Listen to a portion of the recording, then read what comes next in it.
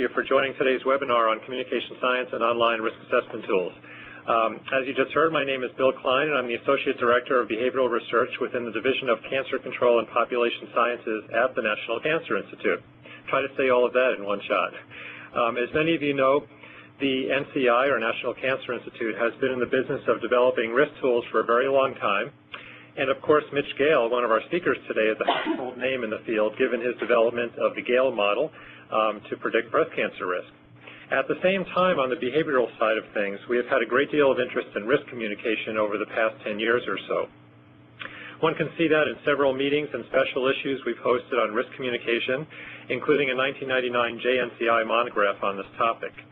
The important linkage between the development of solid and predictive risk tools and the use of these tools in both clinical and non-clinical settings has become increasingly apparent over the past five to 10 years as risk tools have found their way into HMOs and web-based informational mediums. We are now in an era where anyone with Internet access can log on to a risk tool and come away with a point estimate of their personal risk for a wide array of diseases and all kinds of other outcomes. As a result, it behooves us to think about the best ways to develop and present these risk tools to maximize the appropriate use of them by patients and by the public. Today we have a parade of stars lined up to address the entire spectrum from the development of risk tools all the way to how the output of these risk tools can be used and communicated in both clinical and research settings. The webinar is an outcome of a planning meeting we held last year with experts around the NCI who fall somewhere along the spectrum, and we hope that there will be other outcomes of this meeting as well. In the end, we hope that work in the space will energize discussion about our guideline or about guidelines or best practices in the use of risk tools. We're very fortunate to have a talk at the end of the day in which we'll hear about a similar exercise conducted by a group attempting to develop best practices for the development of decision aids, which are not too far afield from what we're trying to accomplish here with risk tools. So with that, let me thank Kelly Blake, Paul Han, and Gia Naranjo Rivera for their help in planning this webinar and the related events that I mentioned uh, earlier. And at this point, I'm going to turn the baton over to Kelly Blake to get us started. Thanks again for everyone to, uh, thanks to everyone for joining us. Hi, everyone. Uh, thank you so much for tuning in to uh, Communication Science and Online Risk Assessment Tools. Uh, we'd like to give a special thanks to Energia Naranjo Rivera, an NCI Presidential Management Fellow, for her leadership and hard work um, in organizing the technical aspects of this event. Um, as Bill alluded to, with today's presentations, we hope to connect the dots between the people who design risk prediction models and the people who design the public interface of risk prediction tools. Uh, we assembled a group of very distinguished scientists from both worlds and have asked them to focus on what they consider best practices for communicating individual level disease risk. And we hope that they will share lessons learned from their work and discuss core principles that they think anyone working on risk assessment tools should consider. Uh, before we get started, uh, we do want to mention that this webinar has been organized by the Division of Cancer Control and Population Sciences at NCI, which is one of NCI's extramural funding divisions. And so for cancer communication researchers who are in the audience uh, who might be interested in pursuing cancer-related risk communication research, uh, we would encourage you to reach out to me, Kelly Blake, um, in the Health Communication and Informatics Research Branch, or Becky Ferrer in the Basic Biobehavioral and Psychological Sciences Branch to discuss ideas for grant proposals. Um, we would welcome any investigator-initiated research that evaluates online cancer risk assessment tools, as well as other types of proposals in the area of cancer risk communication, broadly writ. Um, so with that, we'll begin our first session, Cancer Risk Assessment Model Development, where we think where we'll have presentations by Drs. Andy Freedman and Mitch Gail. And at the conclusion of Mitch's talk, there will be time for questions before we move on. And to ask questions, you can get in the queue by dialing star one or by clicking on the Q&A tab on your screen and, and typing your questions, and we'll try to moderate the questions as best as possible. So with that, we'll turn things over to Andy.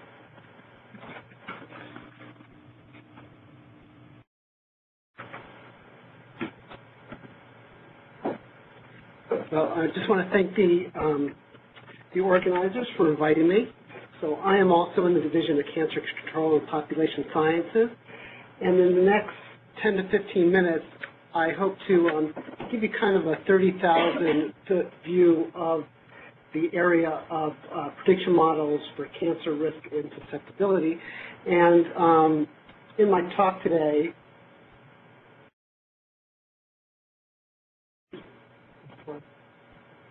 Yeah. Need, Trying to go to the next slide. Hold on. Okay. We need to go back up? Yep. So I'll give you a little background on uh, risk prediction models for cancer. Um, I'll put a, up a list of some recent models that have been developed in the last 10 to 15 years, um, and ones that are being developed uh, as we speak. Um, and then I'll go over briefly some of the applications of these models um, and give some examples and put up a couple questions uh, related to these applications and to the development of. And one slide on resources. Um, we have a nice web page that I can refer you to to get more information. Um, oh, sorry, I'm going the wrong way.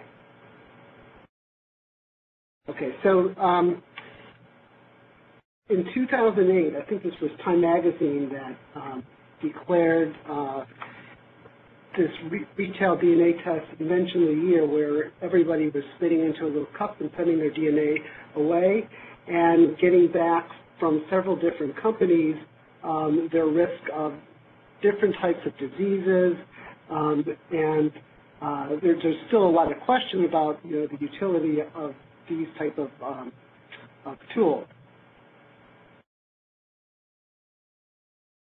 So I know at least three or four companies that are, are still going strong and um, uh, pursuing this area of uh, research. But today we're really talking about um, prediction models for cancer. And um, I kind of break these up into three categories. Absolute risk assessment models, and these estimate the probability of developing cancer over a defined period of time.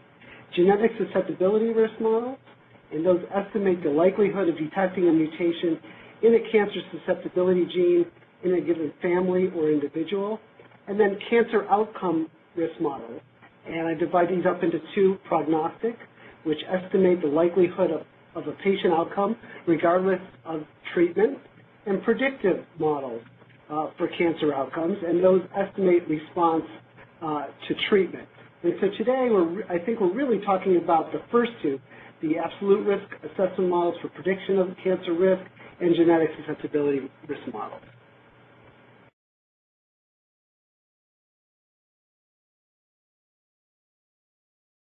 So um, perhaps in the area of breast cancer, there may be the, the most models of, of, all the other cancers.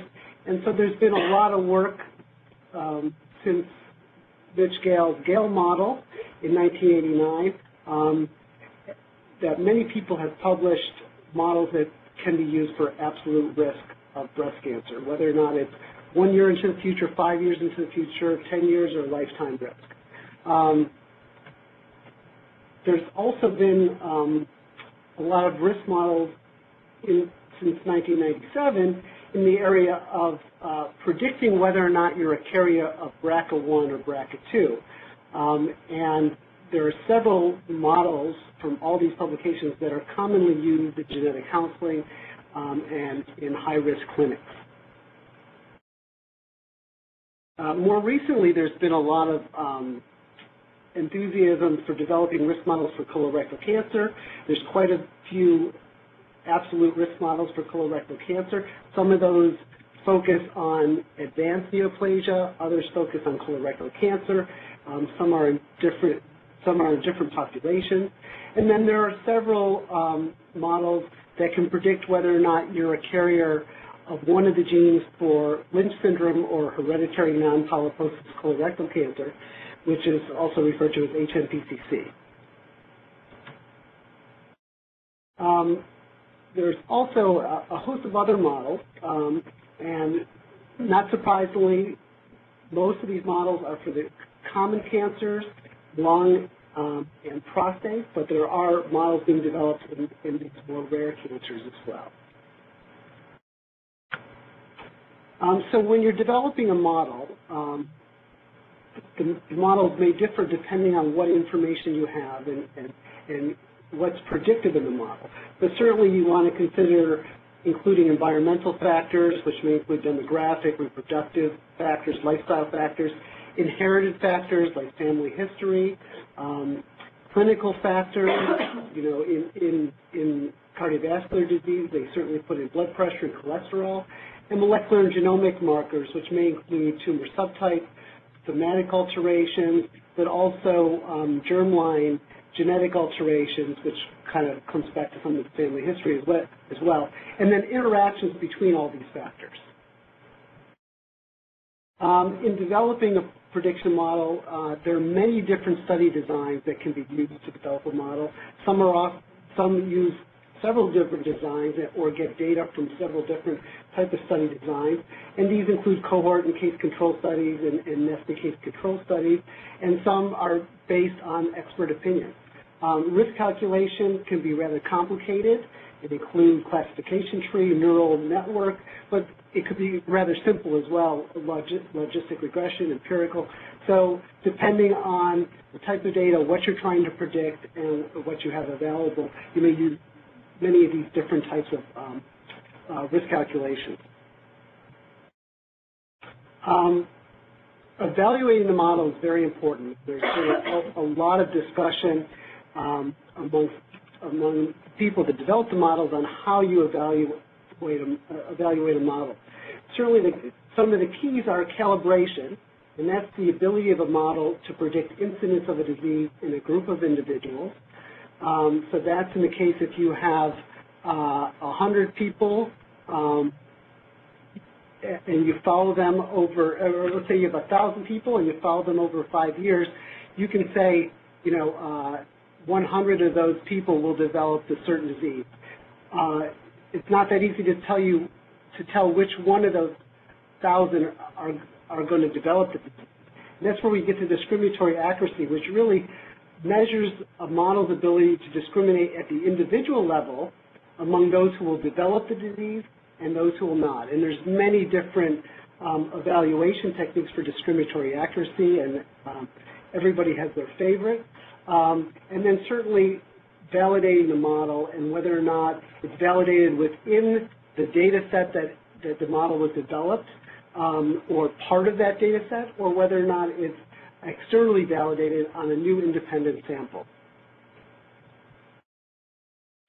Um, so when you're thinking about prediction model applications, um, there are many different applications for, for prediction models, and it's important to, before you develop one of these models, to think about what the applications might be. Now, many of these applications um, overlap, um, and certainly a model can be used for, for all of these uh, applications in some cases. In some cases, a model may be only used for a specific application. But I'm going to go through each one of these. Um, and, but before I do, I just want to introduce real briefly um, the Gail model, which, which uh, Bill mentioned before. And I'm not going to go through this because Mitch Gail will, will, will talk about the development of his model. But basically, this is a model that was based on uh, several risk factors, including age of menarche, the number of breast biopsies, age of first live birth, and depending on the relative risk estimates and the baseline hazard for a specific ethnic group, um, you can determine the risk. In this case, this is a 42-year-old white woman with different risk factors, and you can determine that her five-year risk based on these risk factors is a little bit over 1% for five years. And so I'm going to use the Gail model in, in demonstrating some of the applications that we're going to talk about. So planning intervention trials. So the Gail model was really developed specifically for eligibility criteria for um, a chemoprevention trial of tamoxifen to prevent breast cancer. And in order to get into the trial, you had to be age 35 years or older, and you had to have a Gail model risk score of 1.67%, which happens to be the average risk for a 60-year-old woman. Uh, certainly, um, you can, can I go back one? So here, so the, the uh, go out. Sorry. Uh,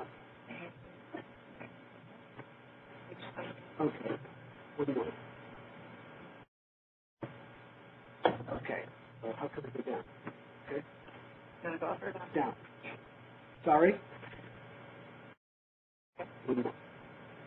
Okay, so um, here's an analysis that was done in 2003, and it, it, it gives you an estimate of the number, the total number of U.S. women um, that would be eligible for a breast cancer chemoprevention trial based on those criteria that I just mentioned. And you can see as a woman gets older, um, her Gail model score increases and she's more likely to be eligible for a chemoprevention trial, trial with a Gail score of 1.67.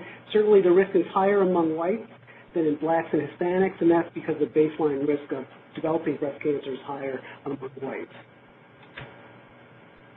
Creating benefit risk models, benefit risk indices. And so these risk prediction models can also be used to incorporate in benefit risk indices. And as a result of that trial, which was positive and showed that tamoxifen actually reduced the risk of breast cancer in high-risk women, um, Mitch Gail and colleagues developed a benefit risk index. And um, basically, based on, on trial data, they were able to put this calculation together where the net number of life-threatening events prevented plus half the net number of serious events prevented gave you an estimate of whether or not your benefit to harm ratio was positive or negative.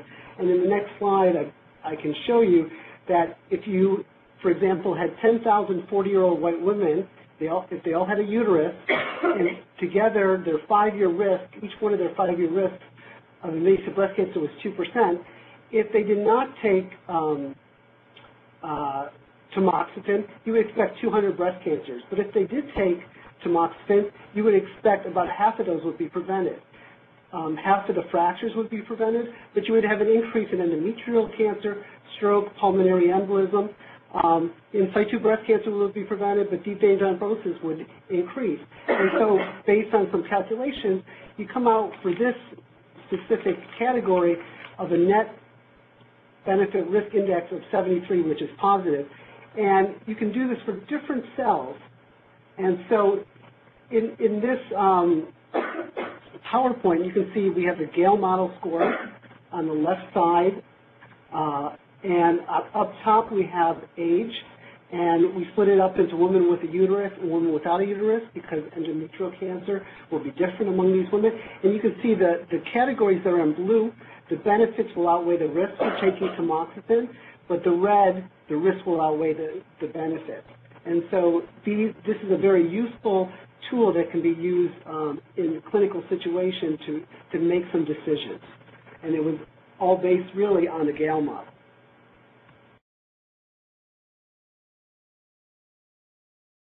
Sorry, trying to go to the next slide.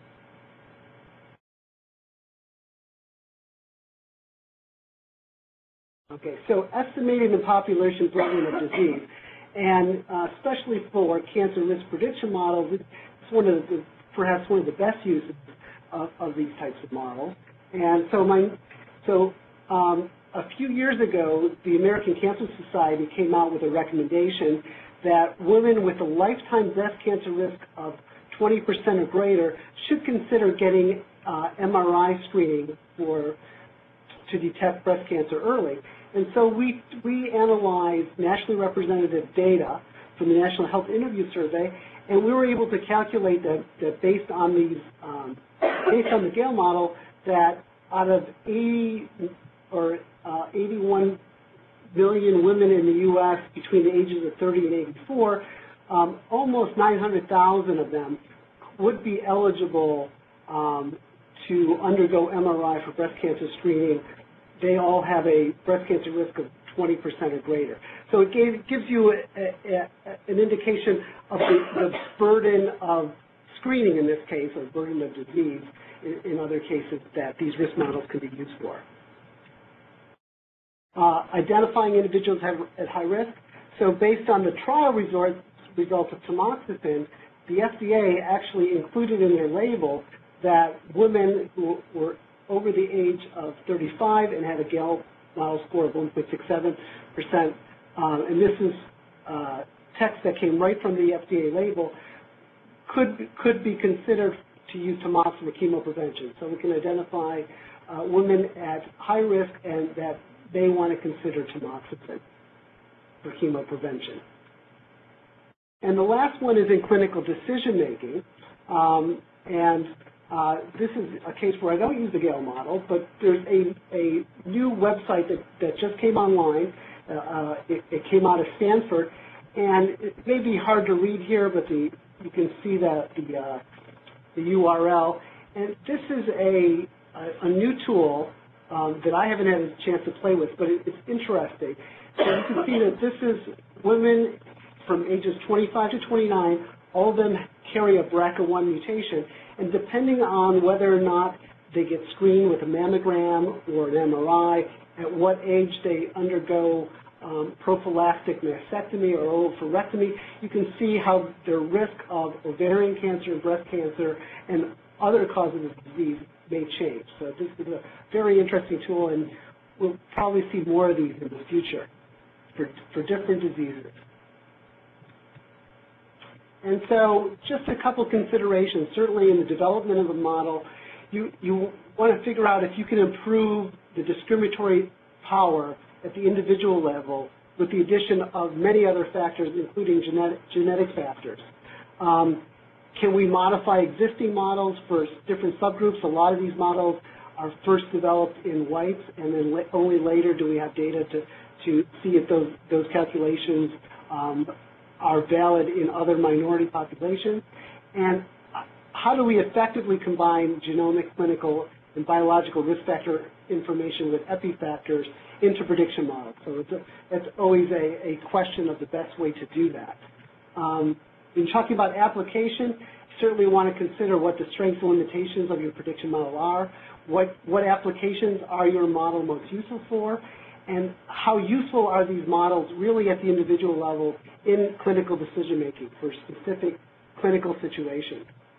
Um, evaluation, you want to make sure um, that you've considered all the different criteria to assess the performance of your models, what's the best measures of discriminatory accuracy, and how transferable are your risk projections from one population to another. And today, of course, one of the key things that we're talking about is communication, and I just put up a couple, couple questions, but certainly uh, many of the other um, speakers today will get into more detail. Um, how should cancer risk prediction models be disseminated to healthcare providers, patients, and the public? What's the best way to convey this risk and the uncertainty to, the, to these individuals and to these groups? And how can they be used effectively to improve cancer education and risk communication? And with that, I'll end that this is a website the NCI has developed, um, and if you click on risk prediction models, we have a list of all the risk prediction models that I mentioned today, and we try to update this, this um, website every three to six months. So any new models that come online that are peer reviewed, we put up on the, on the website. Um, I also put up a commentary that um, that we put together several years ago. It has a lot of the same issues that I discussed here and a lot of good um, references that may be useful to you. And with that, I don't think we're going to take questions until after Mitch's talk. So thank you. So as we switch slides over to um, Dr. Gail, I'll just introduce him uh, briefly um, as being part of NCI's Division of Cancer Epidemiology and Genetics and um, the godfather of the Gail model. and again, we'll take questions uh, after this presentation. Thank you very much. Haven't been called a godfather before. I was asked by uh, Andy uh, to talk a little bit about how, how this model came about and, and uh, some of the developments associated with the model. Um, and uh, really it started uh, well before 1989 uh, when I had lunch with John Mulvihill, who was, who was treating patients uh, in high-risk breast cancer clinic. And many people in those days would have a, a strong family history. They would assume they had an autosomal dominant disease, and they would think that they had a very high risk of breast cancer. And he didn't think it was necessarily accurate what they were thinking, and that uh, they could be informed by a more empirical approach to the problem. And so he asked me to think about it, and um, and he became a collaborator on this paper published in 1989. Um, and it was based on the Breast Cancer Detection Demonstration Project, BCDDP, Uh, This was originally a project to see if you could get women to come into a screening program. It wasn't a research uh, project initially, but it was generating very useful data along the way. And and one of the first things that came out of this was a nested case control study in- these many women uh, to determine risk factors for breast cancer. Uh, But we said, you know, there's more information here because this is a cohort.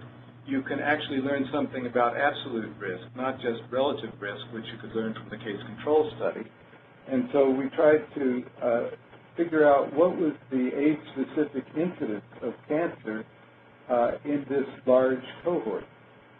And by uh, uh, and, and using those data and combining it with the case control data, we could get some information on absolute risk, which was what um, John Mulvihill was interested in.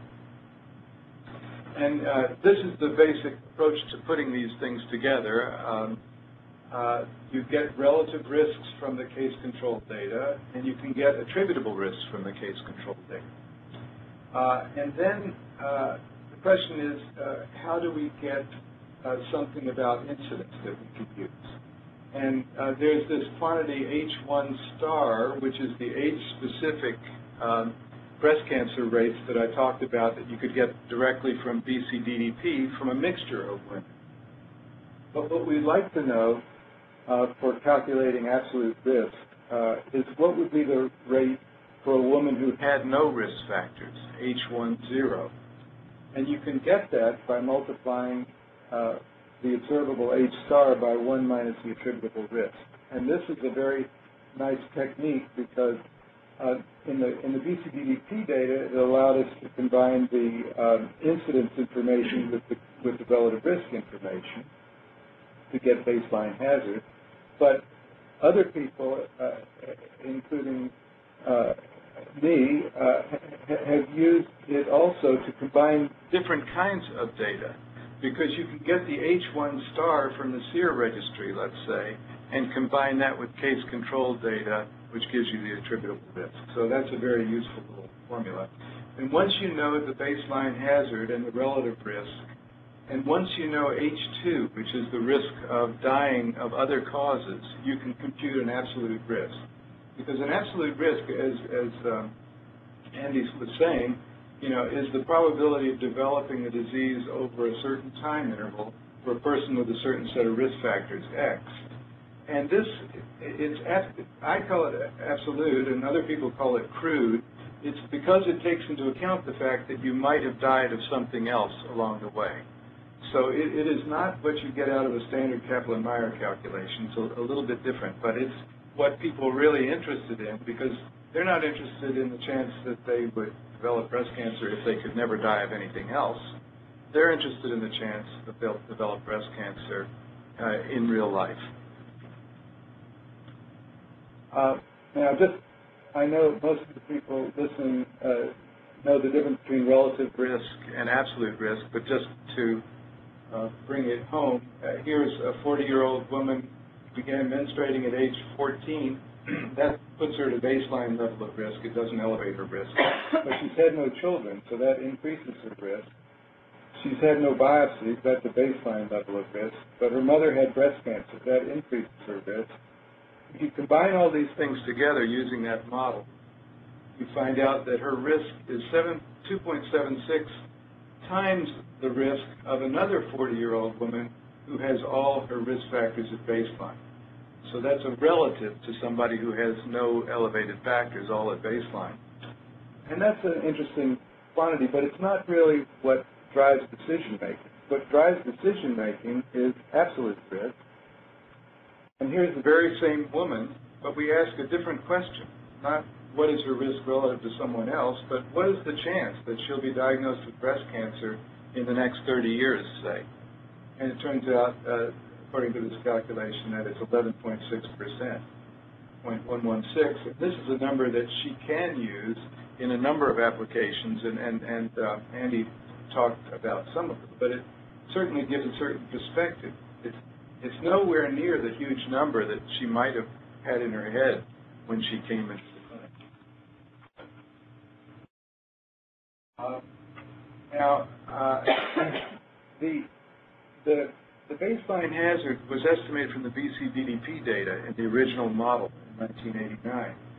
But uh, in preparing uh, to use this model to help design the breast cancer prevention trial that, that Andy talked about, uh, it, it was decided to recalibrate this model using SEER data instead of BCDP data for the incidence rate, the specific incidence rates. And uh, this is sometimes called Gail Model 2 or the Breast Cancer Risk Assessment Tool. Uh, and it's described in a paper in JNCI by Costantino et al. in 1999.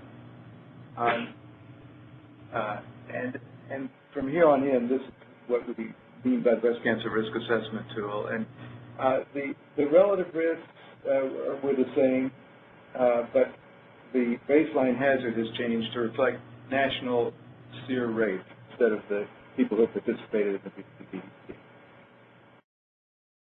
And this model, now the first model, the original model, which we can call Gail Model 1, there was an effort to validate it in the Nurses Health Study.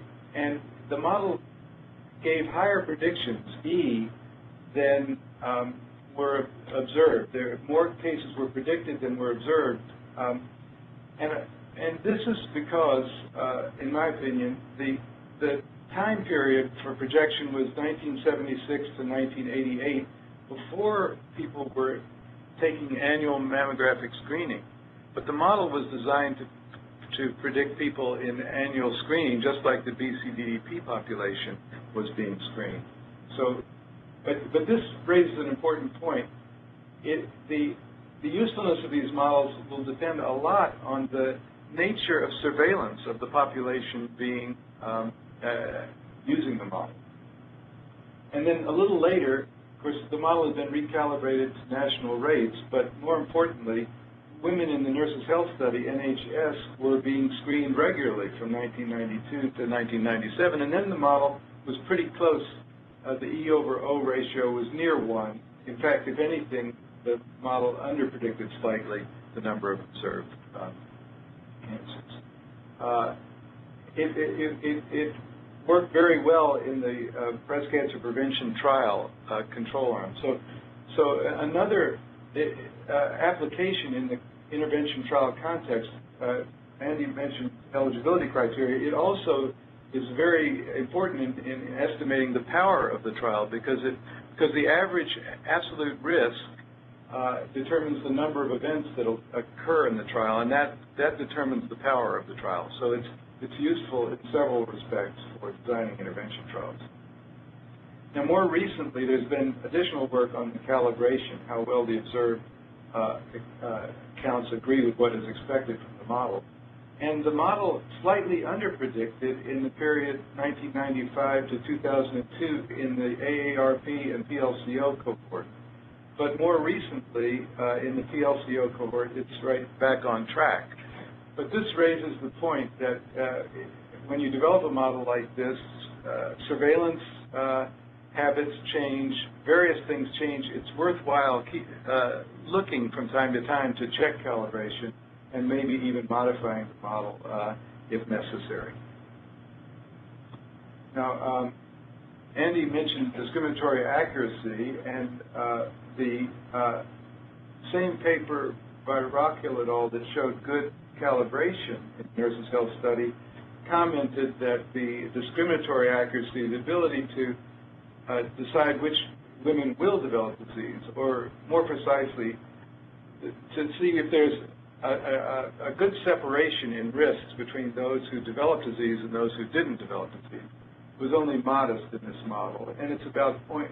In other similar studies, it's about 0.6 for the uh, Gail model or breast cancer risk assessment tool. When you when you add a, a strong risk factor like mammographic density, though, you can improve it to 0.66, uh, and that was shown by Jinbo Chen and her collaborators. Uh, SNPs might get it from 0.6 to 0.62 uh, you know, much less than adding mammographic density. But, but this is a real challenge. How can we improve the discriminatory accuracy of models like this?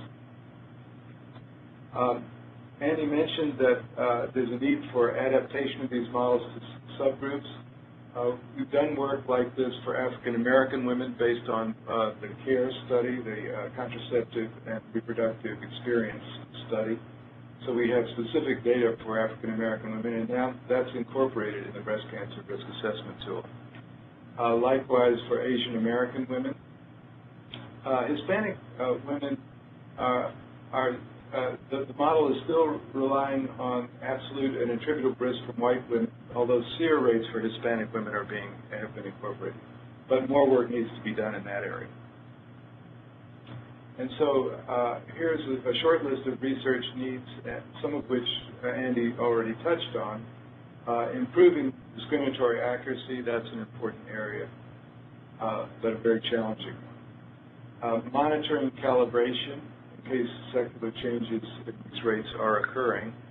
If the model were perfect, it, it would adapt to these uh, rates, but no model is really perfect, so you have to check calibration from time to time. Um, more work on subpopulations, and uh, I think a very important uh, area of discussion is, you know, as Andy mentioned, is, is how do you use these models to improve decision making based on this. So that's uh, really what I have to say, and uh, I think I'm within my 15 minutes. You are. Thank you very much. so um, we're going to turn it over for questions now for Dr. Gail and, and Dr. Freedman. Uh, and the way this will happen is uh, if you'd like to ask your question by telephone, you can press star one and get in the queue. And if you would like to do it um, uh, online using the chat feature, we'll take 10 to 15 minutes or so for questions. Uh, uh, now, if you want to type your questions in, um, anything that has to do with model development for cancer risk assessment. And we have a question from the room, actually, so, Rocky, is, uh, identify yourself. okay, Rocky Feuer, I'm in, D- in DCCPS as well. And, and this is both for, I guess, Andy and Mitch. So when, when you were going through and listing your, you know, the factors that you put into the model for the colorectal model or maybe the breast model, those factors were all related to the risk of development of colorectal cancer, but I didn't see many factors in there related to the risk of other cause death, which Mitch called H2. And you would think that things that maybe could be related to colorectal cancer, but also could be related to all kinds of other factors, might be important and could be added to these models to improve their their their, their predictive ability. So maybe you want to comment on either one of you on the the need to, to, to incorporate those kind of factors related to H2, I guess. Should I just, uh, yeah. Uh, well, H2, uh, I, I had a little formula there, and if you, if you study it closely, you realize that the, uh, it, it has a kind of secondary effect on absolute risk predictions. It's important, but it is not nearly so important as H1, uh, the, uh, the risk of the disease of interest. So, uh,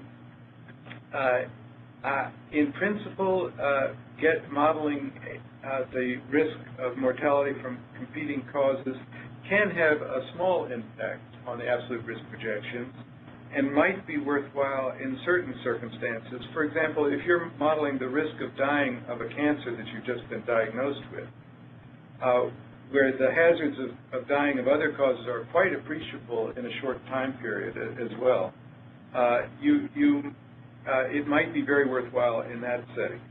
In the prevention setting, um, when uh, uh, we've done sensitivity analyses to see whether modifications of H2 had much impact on the absolute risk of the disease of interest, uh, we found that the uh, effects were very, uh, quite small.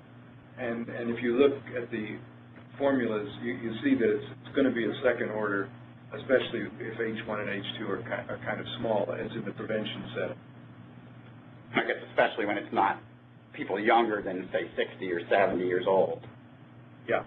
Now, yeah, uh, yeah. Of course, if you if you have a, a person who is uh, is quite sick and uh, and wanted to make a, a 10-year projection of her chance of getting breast cancer, uh, you want to take that into account. I think uh, the standard uh, standard projection would not be right. And, but of course, uh, I, I think many physicians could do that in their head. they wouldn't be too concerned about breast cancer if she were very sick. Right. Okay. Okay, I don't see any questions yet from the chat. We were trying to put one in. Um, so Brad, we're going to turn it over to the operator to um, allow any questions to come in. Once again, if you have a question at this time, please press star then one. Please stand by for any questions. Currently, we have none.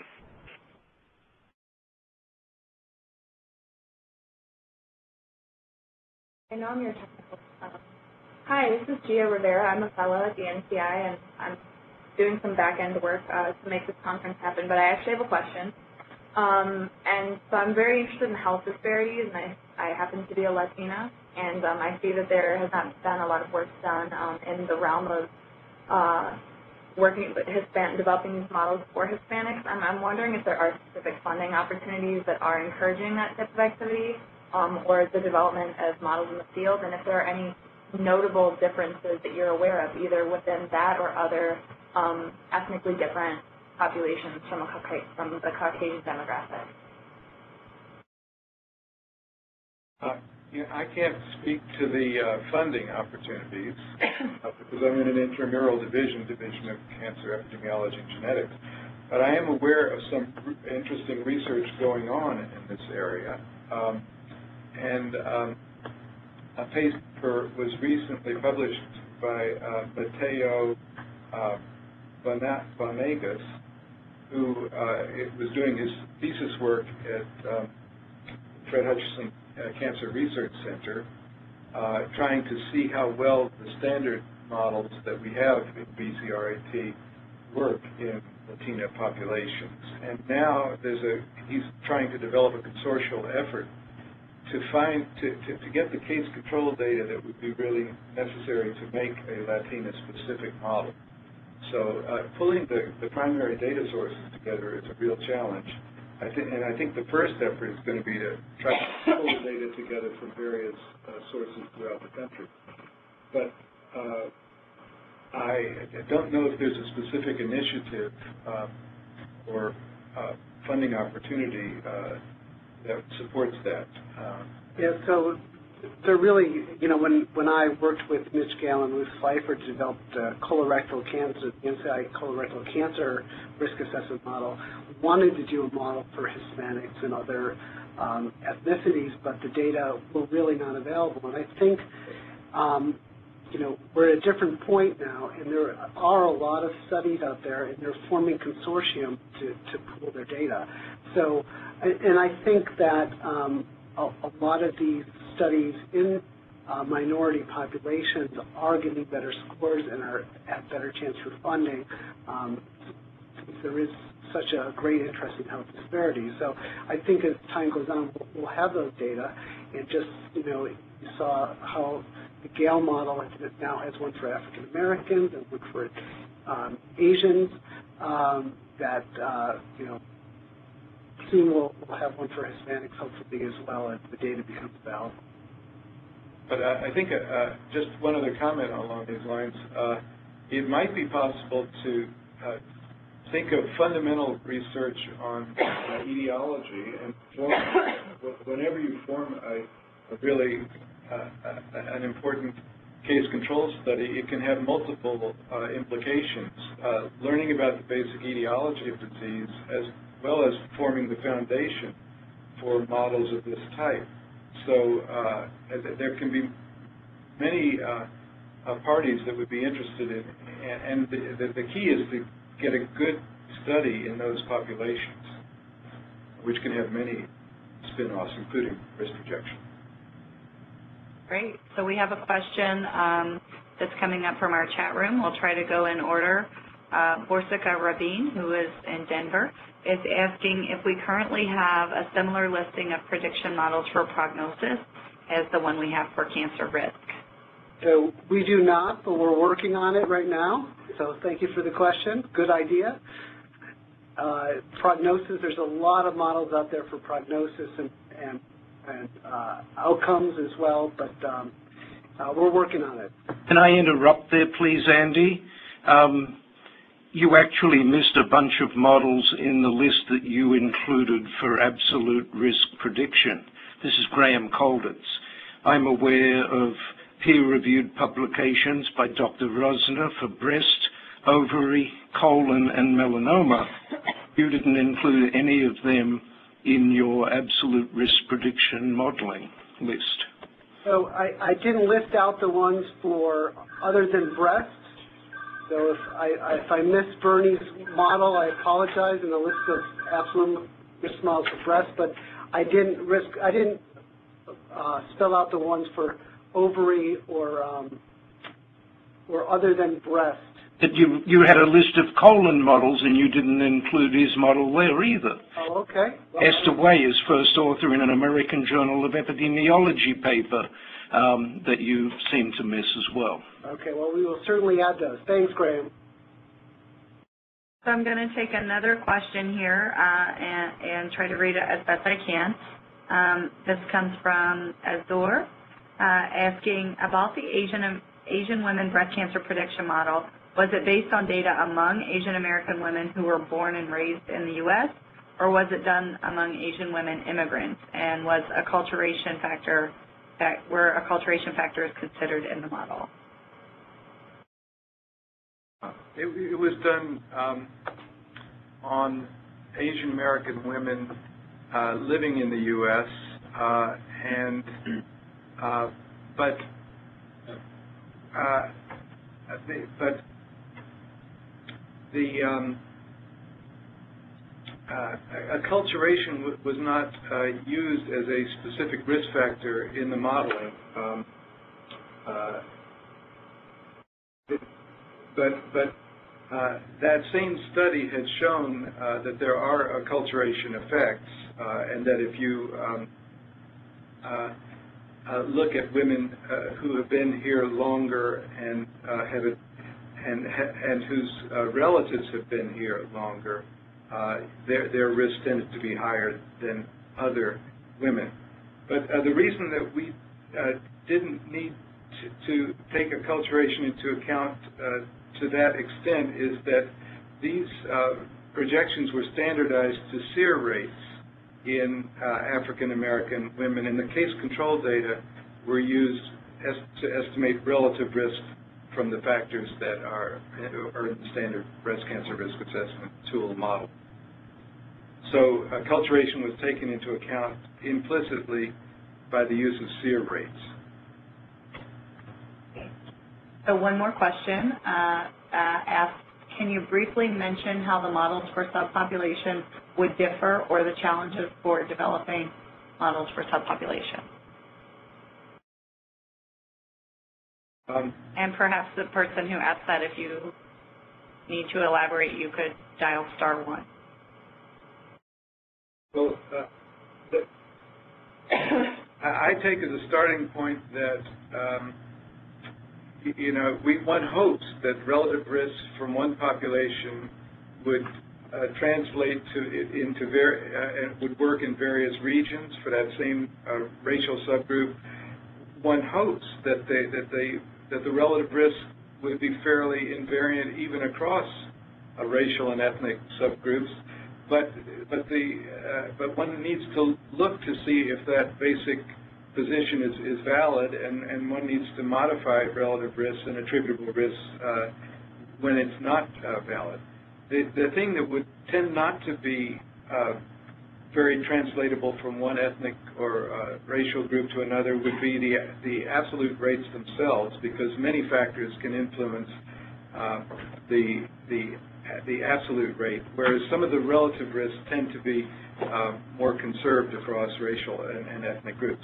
But nonetheless, the real challenge is finding the good uh, basic uh, either cohort or case control data uh, for the various ethnic groups. Uh, once you once you have a good study there, you, you can become much more specific um, in your estimates of relative risk and attributable risk, and then apply uh, nationwide uh, registry data uh, together with those case control data to, to, to come up with a, a reasonable absolute risk model.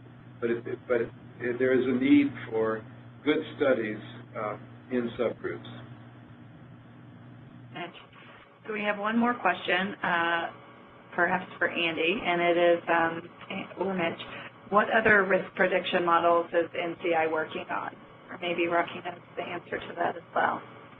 I know there's the melanoma tool going up, right, of Amy Berrigan? Um, I think Mitch might know better um, about the models that are in development. I know Rocky has one that's not in, on risk.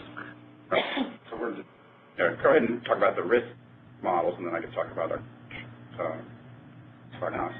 Uh, I know that Ruth Pfeiffer is doing some work on um, uh, endometrial cancer right now.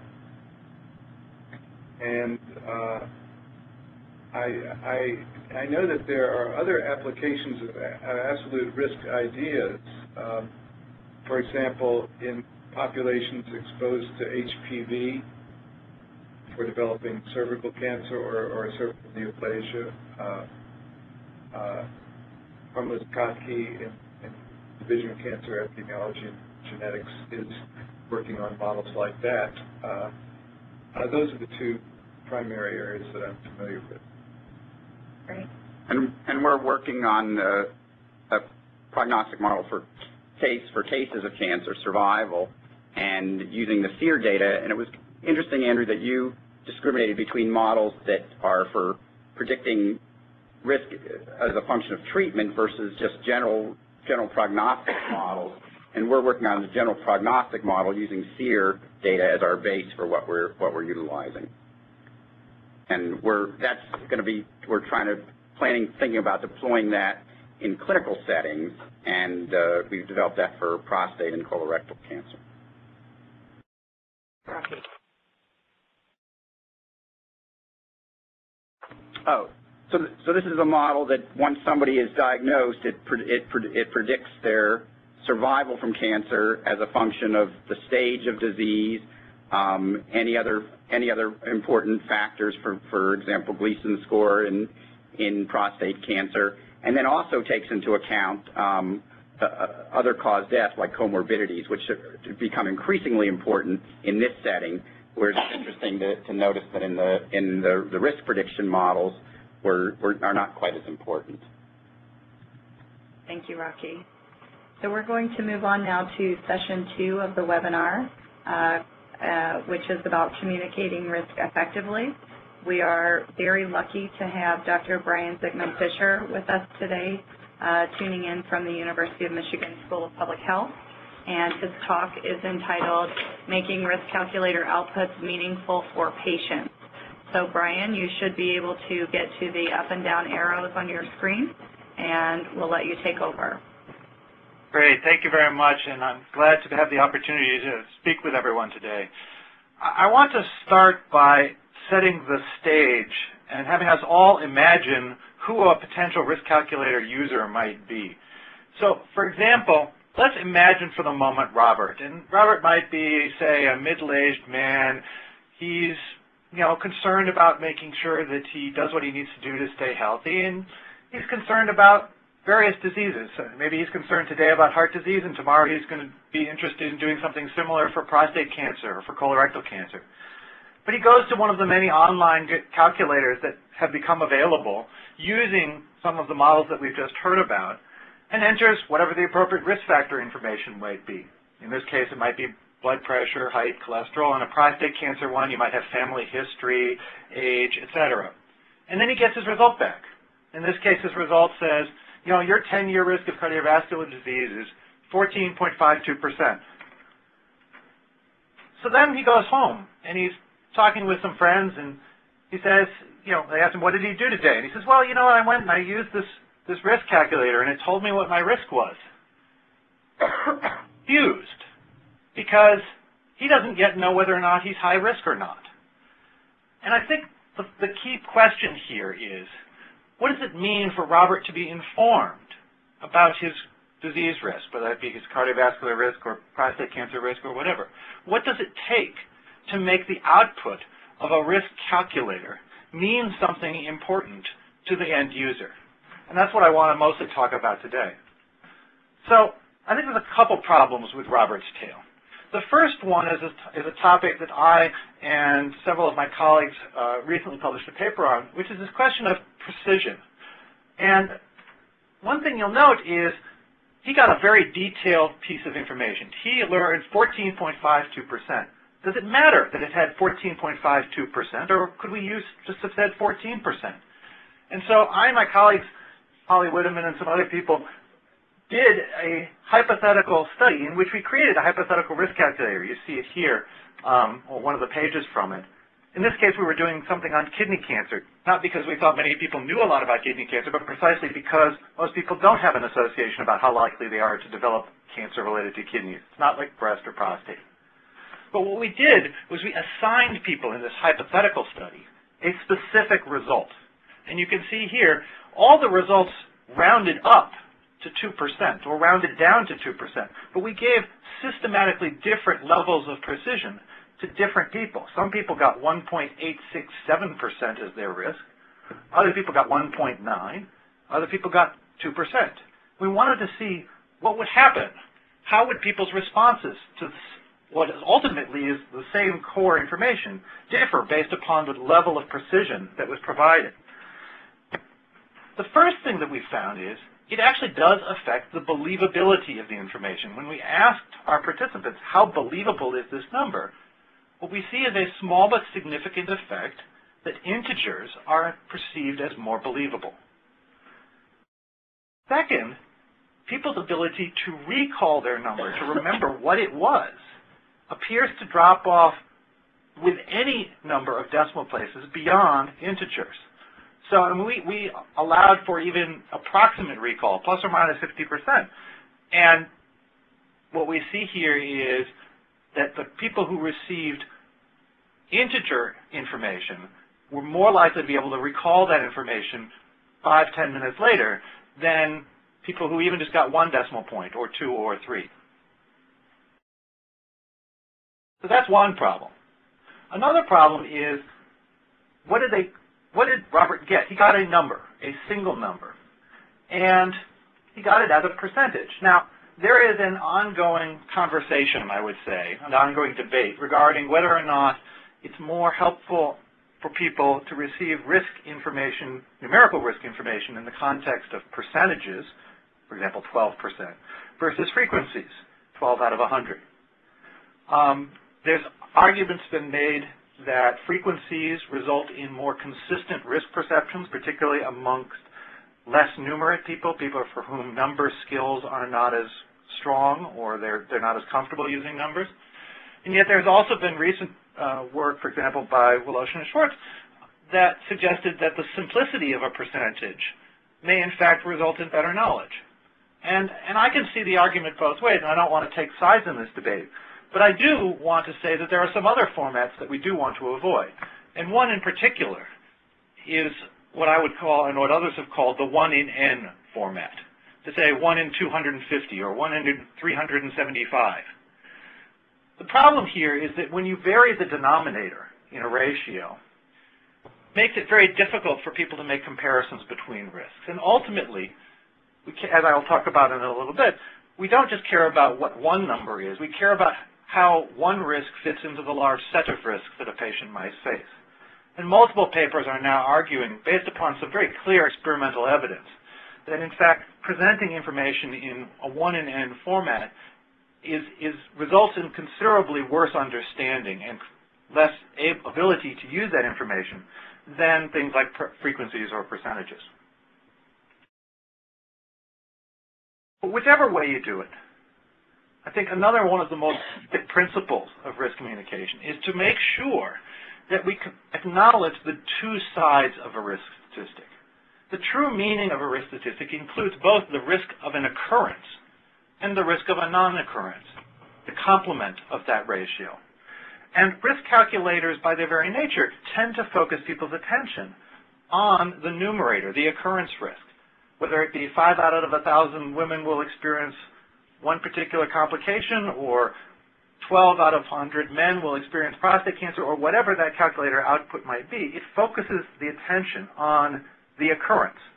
And yet we also need to remind people of the equivalent risk of non-occurrence. That even if 12 people, 12 men out of 100 might develop prostate cancer, 88 out of those 100 will not. Now, much of my work and many of the others, some of whom are on this call, have been involved with thinking about how do we make risk more visually meaningful to people. And so I'm an advocate for icon arrays, or what we often call as pictographs. You see here an example of an icon array display used in the context of communicating to a woman who is considering breast cancer chemoprevention to help that woman understand just how likely her risk of developing breast cancer might be. This was an application that in fact built upon the Gail model we heard about earlier. I think there's some clear evidence, and I'll show some citations in a moment, that icon arrays are often better graphics. And, and there's a couple specific reasons for that. One is that non-events are equally as salient as events are, right? You can look here and you can see the whole population of the 100 people represented in a percentage.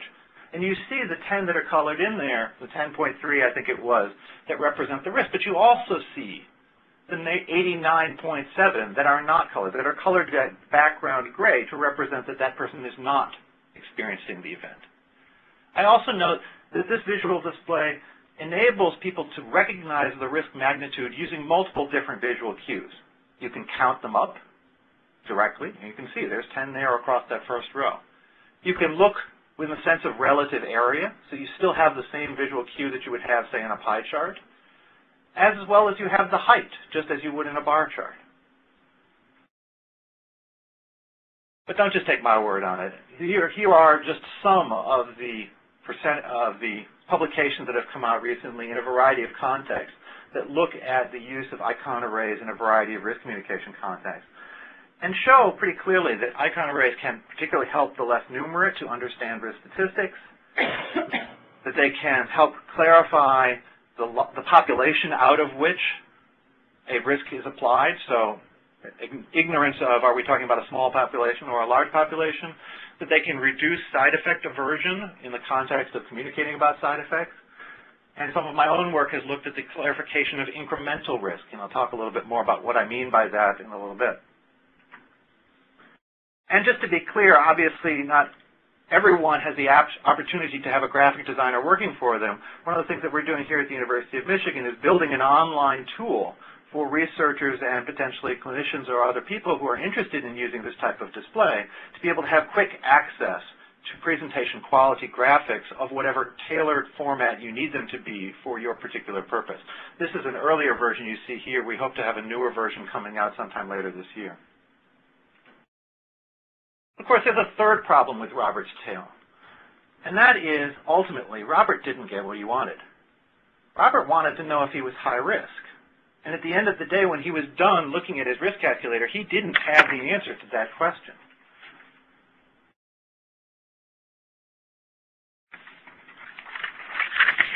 Robert wanted to know he was a high, whether or not he was somebody who has a high risk. And that's what I might call a categorical possibility statement. He wanted to know which category he fell into. Is he average risk? Is he high risk? Is he low risk? Is he borderline? Because those categories have some intrinsic meaning for him as he's trying to figure out what he needs to help himself prevent disease down the future to stay healthy. What he got was a risk communication, a perfectly accurate one, an absolute probability statement that said his risk is this. And the mismatch between that purpose and that information led him to still be confused even after he got the risk calculator output. So what could we do for Robert? Well, one thing we can do for Robert is we can give him a category, a label. We can classify those numbers. Is that 12 risk or that 14% risk a high risk or not? Now, there's some advantages to that because it answers his question. But I do want to point out that that sometimes there can be some drawbacks to that. Because there is some research, I published one paper on this a, a few years ago, that shows that when you present risk statistics and evaluative category labels at the same time, people learn they remember those labels. They remember that they're high risk, but they do not necessarily remember what the numbers were. And sometimes that's going to be a problem because sometimes the types of uses we want people to have for a risk calculator output involves not just knowing that they're at high risk, but the degree of risk and being able to think about how much will their risk change if they do certain types of things. So let me put this into greater context here, right? Let's imagine that you went to, let's say, a, a Gail model-based risk calculator. And you are a woman and you went to this model and you, you, you entered your information and you, it told you that your five-year risk of breast cancer was 6%. Now, whatever you might think about that 6% number, what if I also told you that the average woman's risk is 3%? In other words, you would now be able to figure out that you have a higher than average risk. Or instead, I told you that your average woman's risk was 12%. In other words, that you have a lower than average risk. Notice, I'm not changing what your risk is here. I'm just changing what the context is. And we've done this. We did a, a hypothetical study in which we type of manipulation a few years ago. Angie Fagerlin um, was the, the lead author on it. And as you see from these results, simply changing the context into which that 6% personal risk was put fundamentally changed many different attitudes about potential interventions. So this was done in the context of something like tamoxifen, you know, although we did not call it that, a pill that would cut breast cancer risk by half. And we see here that people who were told, given that extra contact information so that they felt that they were above average risk, not only were they more likely to take the pill and more worried about breast cancer, but they simply perceived that reduction in risk to be more significant. That cutting the 6% to 3% was more important to them, more significant somehow, by the fact that they were above average as opposed to being below average. The point here is that our risk perceptions are not purely absolute. They're defined in part by the relative context into which we put any given number. And what that means is that we have to think very hard about what is the context that we give people. Right? What we're talking about is comparative probability information. Not only being able to say, my risk is this, but also being able to say, my risk is this, which is higher than other people's risk, which is that, or lower than, or equal to. The fundamental point here is what the term of art in the decision psychology literature and the marketing literature is called information evaluability. And really the fundamental point here is information evaluability is the difference between what a number is, what a number means to the person who gets it. And what I've been alluding to here is the idea that a meaning of a number, whether it be a risk number or frankly any other kind of health information, depends upon whether you evaluate it by itself or whether you have the opportunity to compare it to other statistics. And note that statements like high risk are inherently evaluable. I don't need to compare it to anything else to know that high risk means I'm in a worse situation than the low risk person is. But that 14% risk, Robert needed some context in order to know whether he was at high risk and to be able to attach that meaning to it.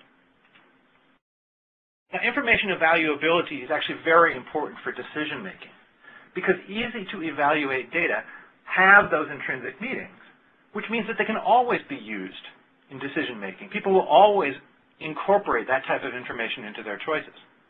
Hard to evaluate data, however, are generally ignored unless people have either background knowledge or other types of comparative information that makes that information more able to be understood, easier for them to derive that intrinsic cognitive meaning and emotional meaning. What this suggests from a communication design standpoint is that we, as risk communicators, need to be very careful and purposeful about the way in which we use contextual information. If we choose to provide context, such as, for example, the average woman's risk of developing cancer, at the same time as we are telling an individual woman what her risk of developing breast cancer is, we are likely to evoke feelings in that woman of being at risk or of being safe. At the same time as we evoke those strong feelings, however, we run the risk that that woman may lose a sense of her absolute likelihood and only remember and only base her decisions upon those emotional responses. Now, I note here a snapshot of the breast cancer risk assessment tool. And this puts the woman's risk right next to the average woman's risk of someone her age. That's fine, because this will make it absolutely clear to her that she is above average risk. On the other hand, I'm not sure how likely it is that she will remember that her risk is around 2.5%. if that matters in a particular context, if it matters that it's 2.5 and not 4 or not 1, that may inhibit her ability to remember that difference. By contrast, of course, we could just not provide that context. That will try and evoke in the, the recipient some form of absolute risk belief. But of course, without that context, this is hard to evaluate. So the woman who receives that type of information may not be able to fit her breast cancer risk into any other sense. She may not know whether that's the most, the largest cancer risk that she faces or not, because she has no basis on which to make that type of comparison. But sometimes we might want to do this, because there are some times in which we want people to act on risks, even if they're below average, just simply because the magnitude of that risk at an absolute level is worthy of intervention. So of course, going back to Robert, Robert could have known his risk better if the risk calculator hadn't just given him his number, it provided other types of numbers for context to make his number easier to evaluate. But of course, the subtext here is what that meaning would be depended a lot on what other comparative numbers we chose to provide. We could his, we could have made his number look large or small depending on what we chose to provide. I do want to spend a couple more minutes talking about an issue that arises when you start to embed these types of risk information into decision support systems. And I'll talk specifically in the context of one that I'm more familiar with related to breast cancer treatment decision making. You know, when you embed a risk calculator or a prognostic model, as we've talked about, into a decision support system, there's an inherent context there. You know why it is you're getting that risk information. You're trying to inform a particular decision. And so it's somewhat easier to improve the evaluability of that number. However, there is a potential disadvantage, and that is the potential for information overload. And I'll give you an example by drawing a comparison to one of the tools that is commonly used to help women who are diagnosed with breast cancer think about their potential treatment options, which is Adjuvant Online. This is a screenshot of Adjuvant Online, you can see there's a lot of different things that you can change here. This is, a, by the way, a clinician tool for estimating prognostic information with no additional therapy after a woman has had breast cancer surgery, or whether after that woman has had hormonal therapy, chemotherapy, or both of those therapies. By the way, I mentioned this as a clinician-based tool, but it's not as though this type of information never gets into the patient's hands. In fact, Adjuvant has a patient handout, which you now see here, captures much of the same complexity of information. This is a handout that a patient might be given to think about as she's making her adjuvant therapy choice. The point I want to make now, however, is the idea that there's an awful lot going on there. And in fact, there's some good work by Ellen Peters and, and others uh, on this idea that less can sometimes be more, that sometimes improving, including less information in a, in a variety of contexts, and risk communication being one of them, can improve not only choice, but comprehension of the decision-critical information. And this, by the way, appears to be particularly true for those people with lower numeracy skills. So what does this mean for practice? Well, one thing I think it means for practice is what I'll call one-at-a-time decisions instead of all-at-once decisions. If you look at the adjuvant tool, or as in here, a variant of what the adjuvant display might look like if we transform those horizontal bars into the icon array format that I was showing you earlier, you've got a lot going on here. You've got four different treatment options that could be considered. And even within a given treatment choice, you've got multiple different outcomes being considered. So if I look at this, I might, I have to figure out, well, sure, there's a larger benefit if I do chemotherapy and hormonal therapy both, but just how much benefit do I get from adding chemotherapy on top of hormonal therapy? I've got to do some mental math to figure that out. On the other hand, if you break these into two binary choices, the one on the left being, do you want to have hormonal therapy, yes or no? And you can look here and you see that with hormonal therapy, nine more women out of 100 are alive because of that therapy. Once you say, yes, this is something I want to do, you can then take those, that, those nine women and incorporate them into the baseline. You'll notice that the baseline, the green squares here, change from 58 to 67, adding those nine in. So that when you get to the second decision, you can now look specifically at the incremental effect of adding chemotherapy onto hormonal therapy. And when we did a study, again, a hypothetical study, but one with women of an age where they might be facing this decision in their future, what we found is that for higher numerate women, it doesn't really matter that much. But for less numerate women, they were unable to pay attention to the magnitude of the benefit of chemotherapy when all the options were being presented at once. Only when we broke it down into this incremental decision framework were the less numerate women able to recognize that a 5% benefit from adding chemotherapy really is larger than a 1% benefit from adding chemotherapy. But another thing you can also do here is remove redundant information. You'll notice that all of the graphics that I've shown you thus far showed multiple different outcomes, survival as well as mortality. Look here, on the left you've got four colors to try and parse. On the right you've got exactly the same information being represented in two right? Because the mortality risk is just complementary. now, sometimes it may be important to know what proportion of women die from cancer versus die from other causes. But I suspect in many contexts, what people really care about is, am I going to have the most likelihood of being alive? Third graphic can be more powerful simply because it's easier for people to understand.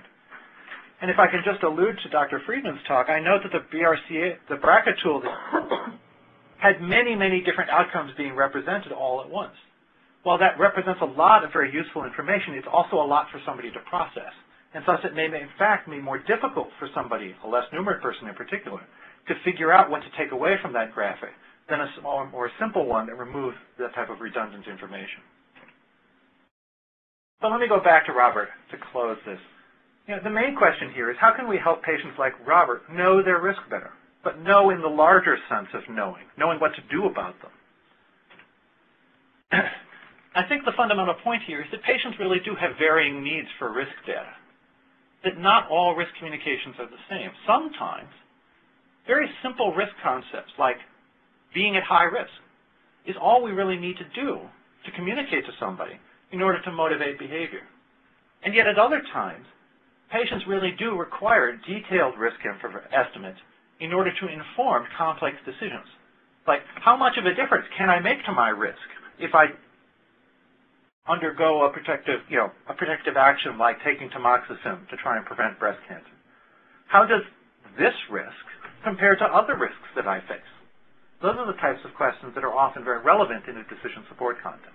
And in those types of contexts, that precision of information is necessary, but we need to make it very clear how it's useful in order for people to be able to use it effectively. So fundamentally, my recommendation is this. Different applications of risk calculators require us to consider using different risk formats. And that in the development of risk calculators for patient use, for clinician use, we need to make some very conscious choices regarding when do we want to be giving numbers, when do we want to be giving labels, when do we need to provide contextual data? And if we do, which form of contextual data will be most conducive to helping that person really understand what they need to know in the context of the decision they're making at that moment? And we need to think, consider both numerical and graphical formats. Verify risk that make it intuitively meaningful so that the risk number becomes something that really is part of that individual's decision and not just something they sort of nod their head at and then make their decision based upon other factors. Because ultimately, I think the point is this, and I put a little cartoon up here that I think that captures it. The point is that simply giving patients the right number, the right output of the risk calculator, is not always the same thing as providing meaningful answers to them as they go through the process of trying to make complex medical decisions. And that would be it for me, and I'm open to taking some questions. Great. Thank you so much, Brian. Um, so I think, Brad, uh, the operator, if you're on the line, let's go ahead and take some voice questions first while we wait for any of our typed questions in the chat room to come up. Uh, Sure. Certainly. Once again, if you'd like to ask a question, please press star then one on your phone's keypad.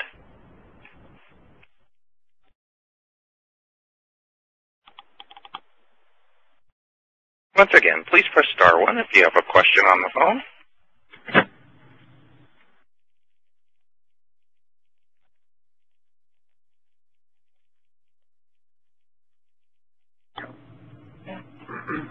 I thought, I thought that was a very uh, interesting talk, uh, and um, I particularly liked your uh, idea that you have to differentiate the kinds of risk information for different uh, sorts of applications. Some of them require very fine-grained uh, information because you're uh, trying to make a quantitative uh, uh, assessment of whether one risk uh, outweighs another risk, or and and but but other people might not need that level of detail, and in fact, it might put them off. So, but if you have the fine level of detail, you can always go to the coarser level.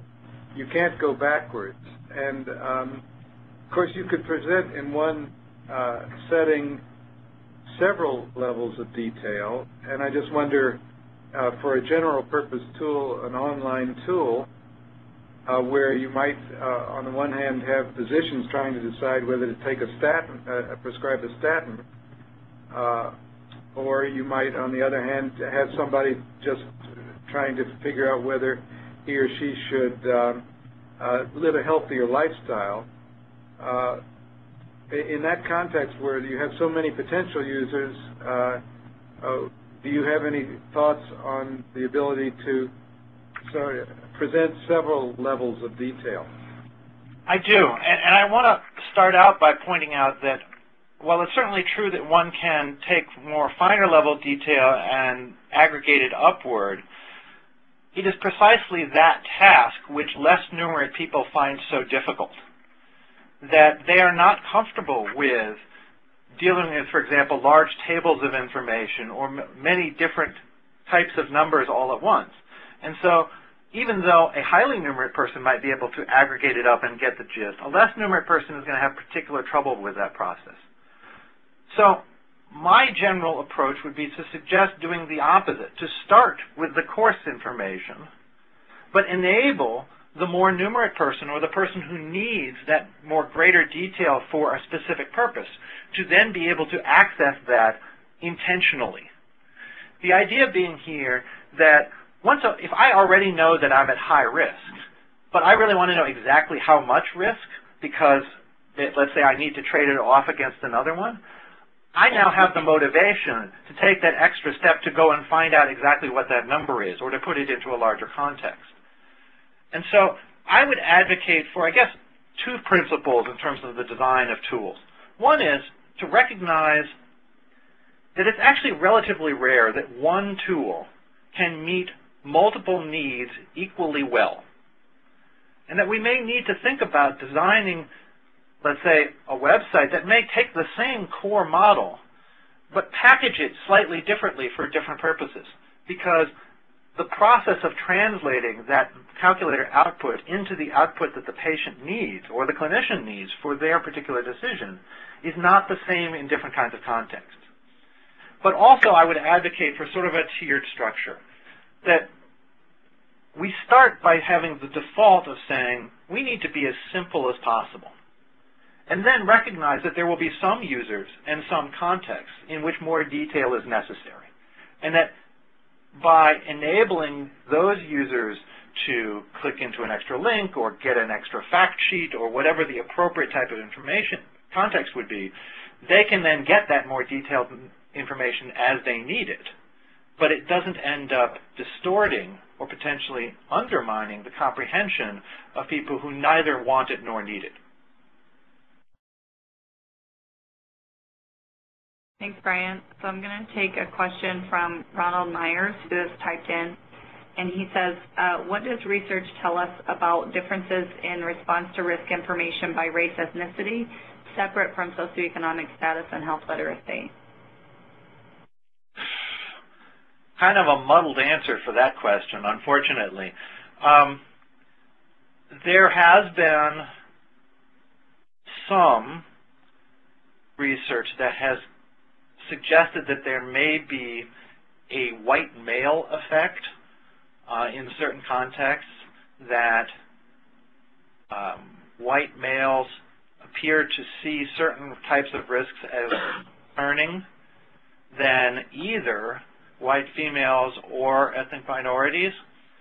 I am not personally that convinced by it because I'm not sure we can disentangle some of the other effects that you mentioned. Um, and quite honestly, I think also I am of the belief, and, and certainly some of my uh, the research that I'm familiar with suggests that, that our risk perceptions are very contextually dependent, and how we ask questions changes how we answer them. And as I talked about earlier, the context into which we put risk information can change very dramatically how I feel about it. And so I'm really not convinced necessarily that some of the potentially racial or, or even gender effects that we see are, are actually something that's permanent as much as potentially something that's evoked by the particular context in which they were originally measured. Thank you. This is Rocky Feuer again from Division of Cancer Control and Population Sciences. So I'm the person who derived the 1 in 8 lifetime risk of breast cancer number, but I actually don't like that number for a, a couple of different reasons. One, I think you alluded to, is the changing denominator. So as much as I tell people 12 point something percent, they seem to love 1 in 8. The other reason I don't like that number is because it's a lifetime risk, and I feel that from a a point of view of usable information, having such a long horizon is, is maybe less useful. So maybe you could comment, especially about the latter point, that, that um, for risk prediction models, is there some maybe some limit maybe beyond 10 years that I don't know if you've done any research to think that risks, longer term risks than that, become really very le much less useful for, for people? Well, let me start by saying useful for what? Because I think the answer to your question really depends upon the purpose that we're talking about here. Right? If we're simply talking about motivating people to pay attention to the reality of the breast cancer risk that they face, a one in eight number, a lifetime risk number, is the largest number that's an accurate representation of that risk. Now, as you say, it's not necessarily very useful because that aggregates everything, including what might happen to that woman when she's 75 or 80, which is very different from an emotional standpoint, I think, than, than what, uh, say, a 45-year-old woman might be feeling. Um, if you want to talk about motivation in the sense of, of my Roberts sense of wanting to know, am I high risk, then I'm not sure lifetime risk numbers are problematic. If you want to talk about being able to make trade-offs on risk, to being able to make really complex weighting of the magnitude of just how likely is this to occur, then I agree with you. I think uh, a lifetime risk is, is really not very helpful precisely because we don't really know how long we're going to live, and that uncertainty makes it very difficult to put that number into context. Um, I, I do think you raise a very important point, which I did not bring up, which is when you are talking about a risk number, the time period is absolutely essential. Right? I can easily double your risk of something by simply doubling the time period in which that, that risk is being assessed. And there is work, and I've done some of this work, that suggests that people are very bad at paying attention to the time interval being discussed. We look at a number for a five-year risk. We look at a number for a 15-year risk. And the 15-year number looks a lot bigger, so we get a lot more worried about it. And I'm not sure there's a clear answer as to how to fix this problem, as much as to do as best we can, make it very, very clear how long the interval is that we're talking about. And perhaps consider that we need to be presenting multiple time intervals in order for somebody to truly understand what their risk is. Right? You can imagine a woman who's trying to understand her breast cancer risk, putting that 12 out of 100 lifetime risk next to the five-year risk out of a Gail model calculator and saying these are really, in one sense, the same thing. It's just they're over a different time period. And depending upon what your purpose is, one might be more important for you than another. Thanks, Brian. I'm going to read you the next question from Dr. Sylvia Cho, uh, which she asks, um, she says that much of the work in risk communication assumes that being more informed and knowing more is better for a variety of reasons. Your presentation shows us that more is often not better, and instead it can create confusion and decrease the motivation for one to choose health-promoting behaviors. Would it be helpful for, for us to differentiate or identify the various target outcomes of each of our risk communication tools, or the online ones included? For example, is it to simply inform someone about their risk, motivate a healthy behavior, talk to a provider, alleviate fear and stress, that sort of thing? Would it be helpful to identify those target outcomes? I would say almost anyone in any form of communications design would argue that it is almost always important to have a clear sense as to what the purpose of a communication is when thinking about designing the format in which that information is going to be presented. Absolutely. I think it is quite important for us to recognize that some audiences are looking to be informed, other audiences may, the purpose may really be to convince them that this, you are at high risk, therefore you need to be motivated to take action. And that the format in which we present information quite appropriately should be different in one versus the other context. Um, as to the point about sort of less and more, I don't actually see my message as being that less is always better. See, my point is that we need to strip off unessential elements and recognize that the, the core of our message is what we need to focus people's attention on. If the core of the message to Robert is, look, you are at high risk, you need to do something about this, then anything that does not support that specific belief has the potential to distract him and hence the potential to, to undermine the message. If, on the other hand, we're talking about a woman who is looking at adjuvant therapy decision making and is really wrestling with the very difficult, value-laden trade-off decision of is extra chemotherapy and all of the side effects that will come with that worth, say, a 5% reduction in the risk that her cancer will come back some point in the next 10 years, then it really matters whether we're talking about 5% or 3% or 7%. And so in that context, we really have to have numbers and we have to make it very clear how that magnitude of risk reduction fits into her larger set of risks that she faces as a breast cancer patient. So absolutely, purpose is, is an essential element of developing this, and that helps to, I think, the communicator to decide how much detail is important and what can be perhaps made secondary as we develop individually tailored tools for particular purposes. Thank you, Brian. And Brad, our operator at Verizon, if we don't have anybody in the queue for a voice question, we'll go ahead and move on to our next session. We have no responses at this time. Okay, so I'll take a moment now to uh, introduce session three, entitled Online Risk Assessment Tools in Public Health. We're very lucky to have uh, Dr. Steve Woloshin and Lisa Schwartz from Dartmouth Medical School um, with us today to present their talk, uh, Know Your Chances, Putting Cancer in Context. So Steve and Lisa, if you could go to the arrows at the bottom of your screen and click through, uh, you should have control. Okay, can you hear me? We can. Okay, great. So, um, well, thank you very much. It's uh, you know an honor to be he uh, here with you guys today.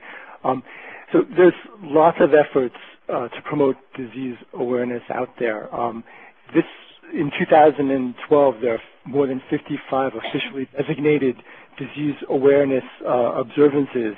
Um, March 2012 is colorectal cancer month, but there's also a bunch of other officially designated observances for lots of different disorders, including sleep disorders, kidney disorders, endometriosis, HIV AIDS, tuberculosis, brain awareness, diabetes, and so on.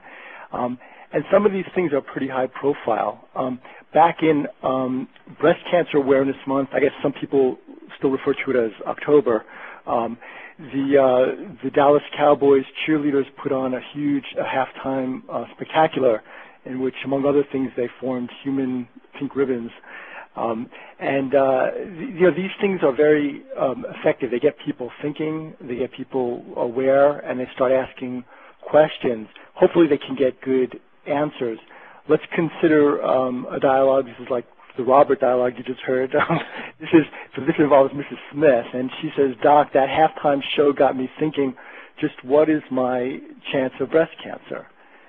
And then after a thoughtful pause, Dr. Jones says, well, it's unlikely. Now, some people may be um, disappointed by Dr. Jones's answer. Um, in particular, they may be focused on that, the word unlikely. What exactly does unlikely mean? And that's a problem because words have a variable interpretation. Um, Speaking of unlikely, a, a, person with the same last name as me, Woloshin, but not me, but in the same field, did a study back in 1994 asking patients to assign probabilities to words. And um, she asked them to look at the word unlikely among other words. And for unlikely, the uh, median response was that unlikely meant about 18%, the chance of something happening about 18%. But the um, range of answers went from 0% to about 50%. So unlikely could mean zero, it's not going to happen, but it might mean 50-50. Um, another person did a similar study um, that was published in the New England Journal looking at physicians' interpretation of words. And here the word unlikely had an even broader range from zero to about 60%. That is among physicians. And this is a problem because if you're trying to talk to people about chance, you need to have some um, consistency about the meaning of, of what you're saying, and that's why uh, that's why people invented numbers. Um, sorry. The, uh, it is possible to get good numbers, and we've heard about some of the great tools that are out there, including the breast cancer risk assessment tool. If um, the, the woman in our example went there, she could enter information about herself, and then um, she's a 55-year-old woman. Um, she had her first menstrual period between age 12 and 13, and so on, press the calculate button, and then she would get output that looks like this. Um, her five-year risk is uh, 1.6%. Now, there's a lot of really good things about this output, I think. Um, first of all, it's clear about the time frame. We just uh, heard some discussion about that. It's absolutely essential to include a clearly defined time frame when you're talking about chance um, risk accumulates over time, and if you're not clear about the time frame, then you're not really communicating anything meaningful. And that's very clear in this uh, this output. Um, and it's also clear about the risk of what? Some of these risk calculators out there aren't clear about whether you're talking about getting disease, dying from disease, or what kind of disease you're talking about. This one is clear. It's about developing invasive breast cancer.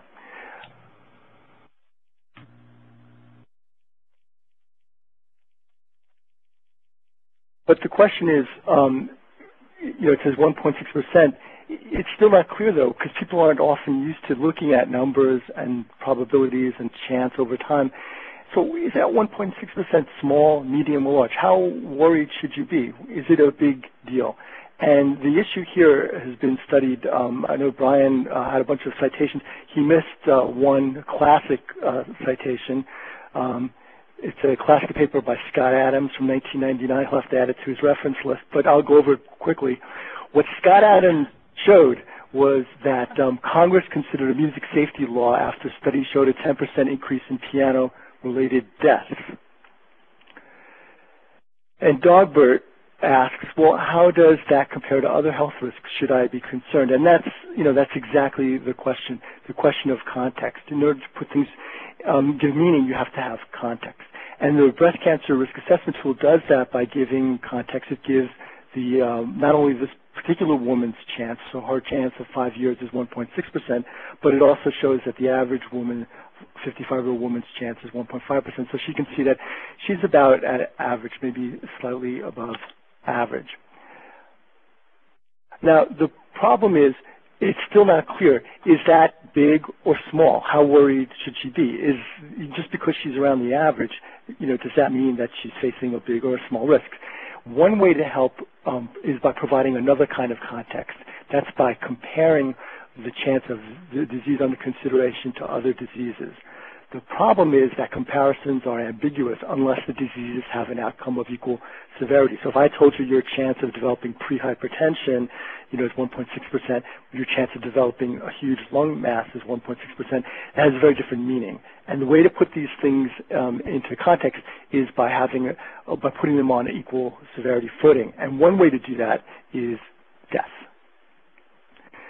Um, and what death does is death puts um, things on the same scale of severity. So here's another dialogue. Here's a man.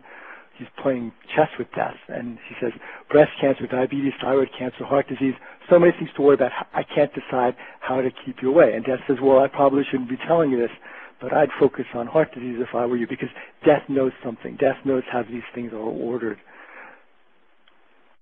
So let's let's do just that. So we'll shift gears. Instead of talking about the woman's chance of developing breast cancer, let's talk about her chance of dying from breast cancer.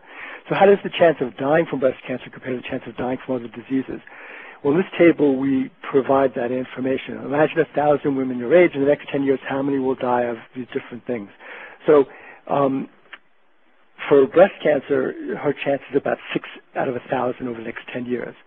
That may be seem big or small to her, but then she can see that lung cancer is 2 out of a 1,000, heart disease is 8 out of a 1,000, and the best sort of context is her chances overall. All cause chance is about 55 out of 1,000 over the next 10 years. Now, this information is very helpful, but it can be made even better by accounting for another risk factor, which in addition to age and gender is probably the most powerful predictor of death, and it's a common risk factor, that's smoking. And so the numbers I've shown you here are for a non-smoker. But imagine that this woman was a smoker. Look what happens to these numbers. Right. Um, if she's a current smoker, uh, her breast cancer risk is now dwarfed by her lung cancer risk or her heart disease risk. Her all-cause chance of dying in the next 10 years is actually doubled. So it's really crucial to account for um, for uh, smoking when when you're looking at chance of, of dying, and that's an important piece of of uh, information for context. We've created um, risk charts which are simple tables which provide the chance of dying at different ages for different diseases over the next 10 years for men and for women, and they're broken down by smoking, uh, never smokers and current smokers. And these charts are helpful. You can look across the chart to see how things compare from one disease to another. You can look down the chart to see how risk changes within a disease over, uh, over age and that gives a person a chance to get some context for um, their, their chance of dying. We published a paper in the Journal of National Cancer Institute showing our methodology for parsing out death by, by smoking status, and uh, we encourage people to, to, to, try to do that in, uh, in the operative risk calculators. Um, and now Lisa is going to talk about a wonderful uh, collaboration we're doing with the people at SEER trying to make this sort of information available. So um, we have been thrilled about taking this idea and making it a reality and working with the wonderful group at SEER, including Rocky Feuer, who's in the room, and Angela Mariotto and Nadia Howlader, to develop a website which we call um, Know Your Chances, interactive risk charts to put cancer risk in context, to um, build on our idea of risk charts and presenting cancer and non-cancer statistics together. Um, this is a, website that's in development, um, and we hope that will be online sometime within the next year. Um, so what I'd like to do is to walk you through the main pages of the um, website. So the first feature is called Big Picture Charts, which are ready-made charts with a 10-year chance of dying from major causes. And um, what we allow you to do is to decide who you want the charts for, whether it's men or women, um, and by race and by different age categories since the causes, the big causes of death are different, um, and to um, allow people to get their favorite numeric format. We let people choose whether they want percents or out of a thousand. And um, these are pre the causes of death um, here are preset, and the output, um, ooh, oops, I went the wrong way, sorry. Okay, and the output will look something like this. Um, the next feature is where you can create custom charts, and this is the same idea about creating risk charts, but now we're giving people more freedom um, to get exactly what they want. Um, and the freedom that we're allowing them is that you can change the time frame. So instead of having it be 10 years, you can get 5 years, 10 years, 20 years, or remaining life expectancy. And you can choose from a whole host of diseases that you want to see, so you can create your own charts. The third feature is actually takes a little bit of a different perspective. We call it your chances, and this is looking at it rather from an individual level. And um, let me read you what we are doing here. Um, here we're creating pie charts which show your chances over the next 10 years in two different ways. The pie charts present the chance that someone, your sex, race, and age will die from anything in the next 10 years, what we call the glass half empty form, and the chance they'll survive the next 10 years, the glass half full form, and they show you the top causes of death that make up that chance. So you tell um, us, you know, who you are and um, how many causes of death you want to see, and the output looks like this. And um, in the center, the center pie chart is who you are now, um, and the pie chart gives you um, all-cause mortality, and then it allows you to see, um, as you can see, this is under construction, so there would be actual causes of death where it says COD, and so you could see the top five causes of death. And then to provide some context here, what we wanted to show people was what um, things look like when they were 10 years younger um, and what they will look like when they're 10 years older so that you can still have that context about how things change with age. And then the final feature um, is um, what we call special cancer tables because from the SEER data, we have both the chances of getting and dying from specific cancers, and um, here people will be able to um, generate getting and dying of various cancers um, for different populations over different time frames and generate charts um, that will look like this where you can see um, the cancers that you want across various ages um, the chance of diagnosis, chance of death. And we um, are really excited about the website, but the website is still in development, and so we're um, would love to hear suggestions and um, feedback if people have it for us. Thank you very much. Thank you very much, Lisa and Steve. We can start to take questions now um, before we switch to our next session that's scheduled to begin at 3, at 10 minutes after 3. So if anybody has questions of Steve and Lisa about putting cancer in context and communicating risk that way, um, please chime in online or by the phone. Or in the room. yeah. Uh, very nice. Um, I wondered, um, let's, see, uh, you, you don't, uh, uh, you're, using sort of national data on mortality statistics, is that right, for the, um, without covariates? Is that a fair statement? And then um, is it possible uh, to break that down by smokers versus non-smokers uh, in terms of uh, mortality? like, likewise, for the incidence data, are, are these uh, incidents, they're specific to age and racial group, but, but no other covariates, but can you do smoking? Um, I, well, I, I forgot to mention that in the first version that we won't be accounting for smoking, but in the second version, um, Rocky, we um, will be working on smoking um, because it is such an important covariate. I mean, you know, you see that, I mean, for lung cancer, heart disease, all-cause mortality. Um, so, yes, they are all general population. The first version that will go up will just be like much of the data that's on the SEER website and under and from, Nas from the National Center for Health Statistics, which are just based on age and sex, and then we hope to refine it um, by smoking status. That'll be very valuable. Even to get the smoking data is not that easy. Uh, I think it'll be very interesting. Yeah, so we won't be able to get it all from one source. We'll be getting it from different sources and putting it together. Of course, the mortality statistics are not by smoking. Right.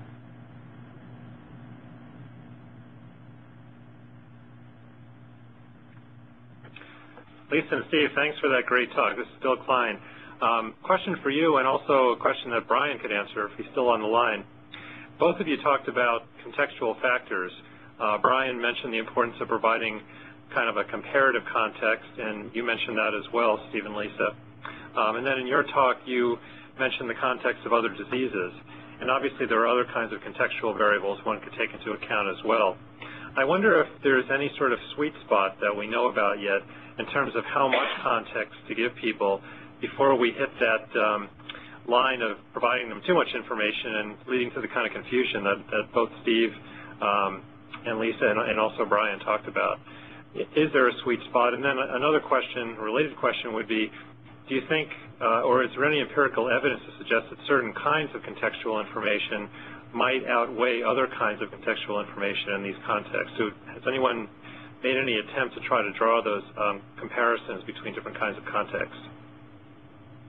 Um, well, I just want to be clear. We haven't studied the risk charts with patients, and I, I and I guess the question is also in what way that you use these things. So, I mean, if it's, I mean, it's, I think there's also a use um, for disease context for doctors as well. I mean, I think most of us are really I mean, until we did this work ourselves, I don't think we had any idea of what these numbers are like.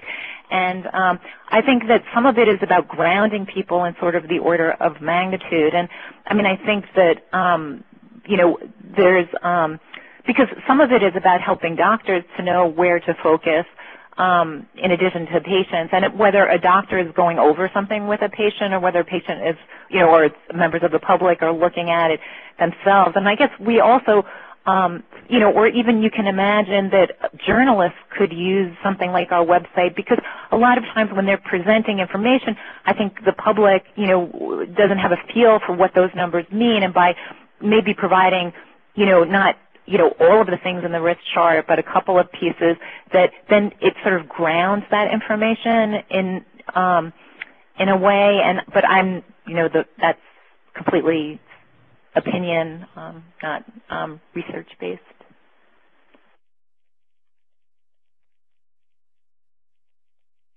Brian, did you have anything to add if you're still on the line? I didn't actually. I mean, the, the, the general comments of, of putting numbers into context pervades, I think, both my work and Steve and, and Lisa's. And yeah, I think there's a lot of value being able to understand what your particular risk is and then being able to put it into this, the larger set of should I be paying attention to this risk or is there another one, whether it be things associated with smoking or heart disease, et cetera, to, to make that more meaningful.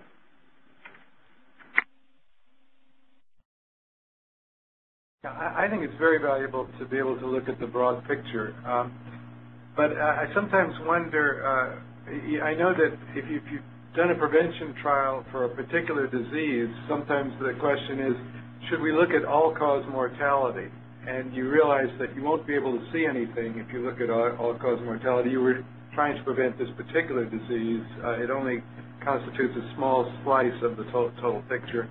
If you can cut that disease risk in half uh, with little toxicity, or, um, you really accomplished quite a bit, but you wouldn't see it in the broad picture, and it wouldn't you, you almost, if you looked at the broad picture, might not be inspired to do that kind of research. Yet I think, you know, incrementally you can make a lot of progress if you could uh, uh, attack each of the wedges. But I, but I'm not. Uh, uh, but I, I, I think it's very valuable to look at the broad picture. But but there is this other point of view. Uh, you can look at. You know, you should look at the. You should work on the wedges too. So this is Andy Freedman. Steve and Lisa, I wonder if you could comment on some of your work with black box or uh, FDA labels and how that may differ from predictions for cancer risk in in the sense that, you know, a patient may decide right there and then, am I going to take this drug or am I not going to take this drug and what could happen to me as opposed to, well, maybe I'll go get a colonoscopy in two years because my risk will be high enough. I wonder if you could comment whether or not the communication of risk or or how it's presented differs at all in, in that type of circumstance, or is it pretty much the same type of thing?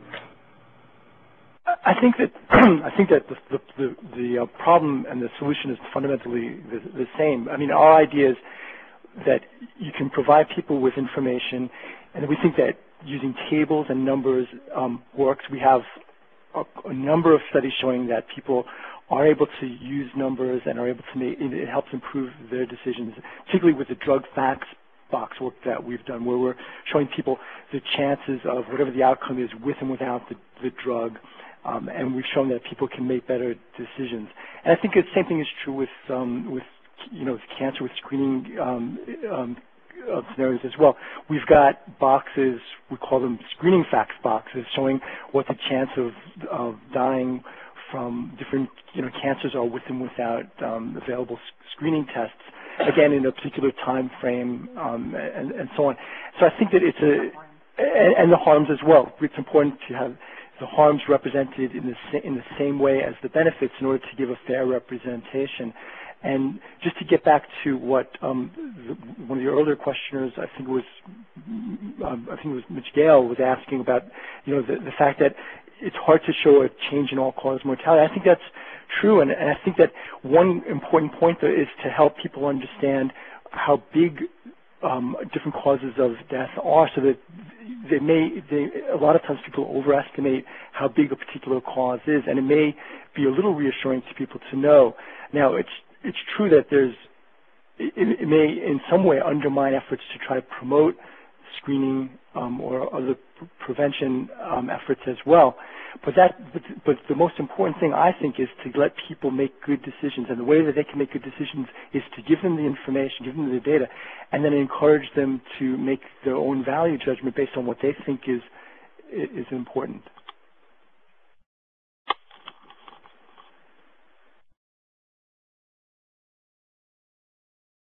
Um, Brad, do we have any questions on the phone? We've had no responses at this time. This is uh, Rocky Porter again. And uh, do, you, do you think, what's the, the, the value or usefulness, in, in addition to providing risk, have uh, tools to help uh, people elicit their own values so they, so they sort of get a sense of how they value this thing over that thing. And some of these things are not so obvious how you, how you might value different things but maybe there might be tools that could couple with these risk risk assessment and you know risk probabilities to help people to help people value things and couple these two kinds of tools. I yeah, I mean that's certainly what uh, many decision aids do, like the um, Ottawa decision aids, where they have scales and they get people to go through sort of you know they do the probabilities and then they also do value elicitation, and I think that certainly could be something that might be part of um, you know, risk prediction tools as well to help people think about, you know, how much um, they value different outcomes. Um, but I think the, the, the one issue, I guess, is about to what extent the risk prediction tool just focuses on a single number, like what's your chance of disease, or is it focused more on sort of what's your chance you know, if you do this versus if you do that, and then it becomes, you know, when you're weighing the the trade-offs of you know trying to decide whether you either want to make a behavior change or um, so um, it would probably depend on the on the kind of tool. Yeah, it may be especially important in the in the context of prognosis when there's a decision to be made getting uh, chemotherapy with all the toxicities and things like that. Yes, exactly. When when when there are trade-offs, and that I think ha- helping people to think through what those different you know what both the outcomes mean and the chance of the different outcomes is really helpful. Great. Thank you very much, Steve and Lisa. So with that, we're going to switch into session four, which is focused on implementation. Um, and we're hoping to hear lessons from uh, the probably most popular of the risk assessment tools out there, the Your Disease Risk website, and also uh, from a group that really tackled the nuts and bolts of what it means to have uh, quality interfaces um, from the International Patient Decision Aid Standards collaboration. Uh, so we're going to start with Drs. Graham Colditz and Erika Waters joining us from St. Louis um, and talking about the culmination of 17 years of transdisciplinary research on the Your Disease Risk website. Erika and Graham? Kelly, you can hear us? We can hear you. Great, thank you. Thanks to you and Bill and your team for inviting us to zoom in from St. Louis and um, share with you 17 years of experience, um, and we hope we're able to show some of that in the next 20 minutes here. We'll focus this on our tool, as you say, that is widely viewed, Your Disease Risk, which of course started as a cancer risk assessment tool.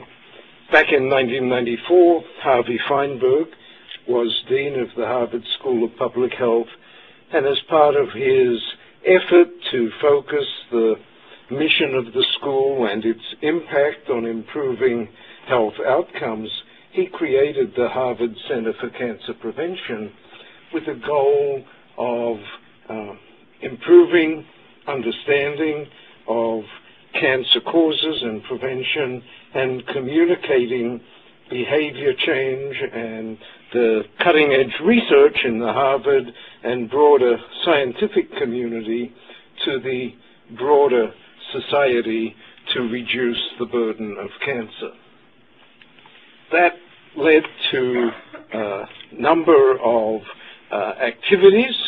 The initial faculty meetings set priorities to uh, review and synthesize and publish uh, what we knew about the causes of cancer and what we knew about strategies for prevention. The bigger issue, of course, was that faculty thought, oh, all we really need to do is publish a review article in something like JNCI, and we'll be done. But obviously, there was substantial input that said, hey, to reach the public, we need a far broader approach than merely publishing in the scientific literature. That gave us a uh, major challenge. Uh, we had to span outside of our comfort zones and bring together knowledge, perspectives, understanding, and experience from many disciplines. And I think in the process, we got to a product that none of us could have imagined ahead of time. we brought together many, and I would say many, many disciplines.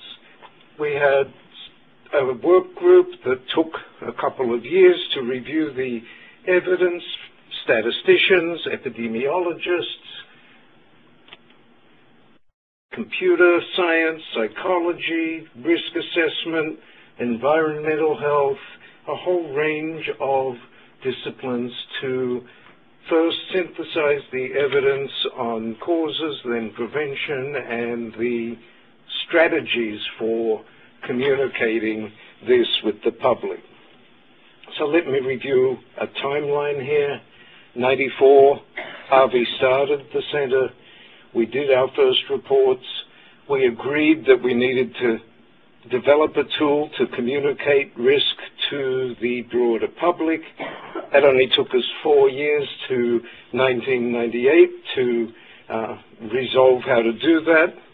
At the time, pencil and paper was the medium of choice, given that a lot of input suggested those who most needed prevention messages had low literacy, if any, little access to computers, so we developed pencil and paper tools with fairly, um, what we thought was simple math. Karen Emmons did focus group work and showed that people couldn't add up and subtract amongst other factors, and so we moved over to a uh, web development strategy by 1999. By 2000, we launched our first four cancer site, accounting for literally half of all newly diagnosed cancers in the United States. That was then expanded to 12 cancers, 80% of the cancers diagnosed. And shortly after we had that up and running, we started to realize that, hey, our prevention messages for um, not smoking, healthy diet, avoiding weight gain, being physically active, actually apply to many other chronic diseases. So we embarked on the expansion from your cancer risk to your disease risk. That was launched in 2004, and subsequent steps included translation to Spanish, and finally transfer of ownership to uh, Washington University when I moved here at the end of 2006. We've had constant, what we'll call heavy use, uh, while it varies day to day during the week with a regular pattern, uh, we nevertheless, oops, we've um, got an estimate of uh, approximately 4 million visitors since we went, went live in the year 2000. What does this look like? The early coverage, remember in 2000, this is sort of prehistory in thinking about websites. Harvard was excited that we had a new cancer risk website breaking records for the School of Public Health web traffic. By 2004, we had The Guardian describing this as a way to assess your health risk with a very long name. Subsequently, Tara Parker Pope was still at the Wall Street Journal, and um, she managed to pull off a road in New York because she couldn't use a cell phone and drive, and uh, interviewed me, and um, we got coverage in the Wall Street Journal.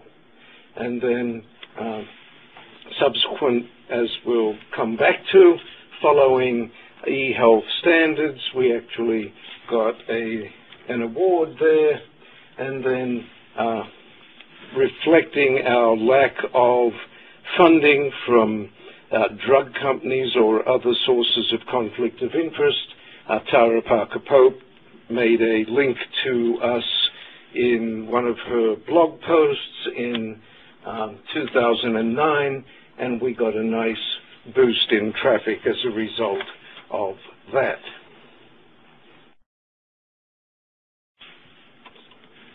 So to wrap up the site development, obviously we've had multiple uh, components across faculty, uh, support staff, communications experts, computer science, technology, and all working together uh, and in a very iterative uh, process. As you'll see, we are not an absolute risk tool. Um, this reflects input along the way in the development process that Erika will talk more about. But throughout, we've had this uh, continuous input update of where is the science, where is the design and communication technology, what does this all mean for um, communicating risk in a state-of-the-art way to get cancer prevention messages and chronic disease prevention messages uh, to the general public.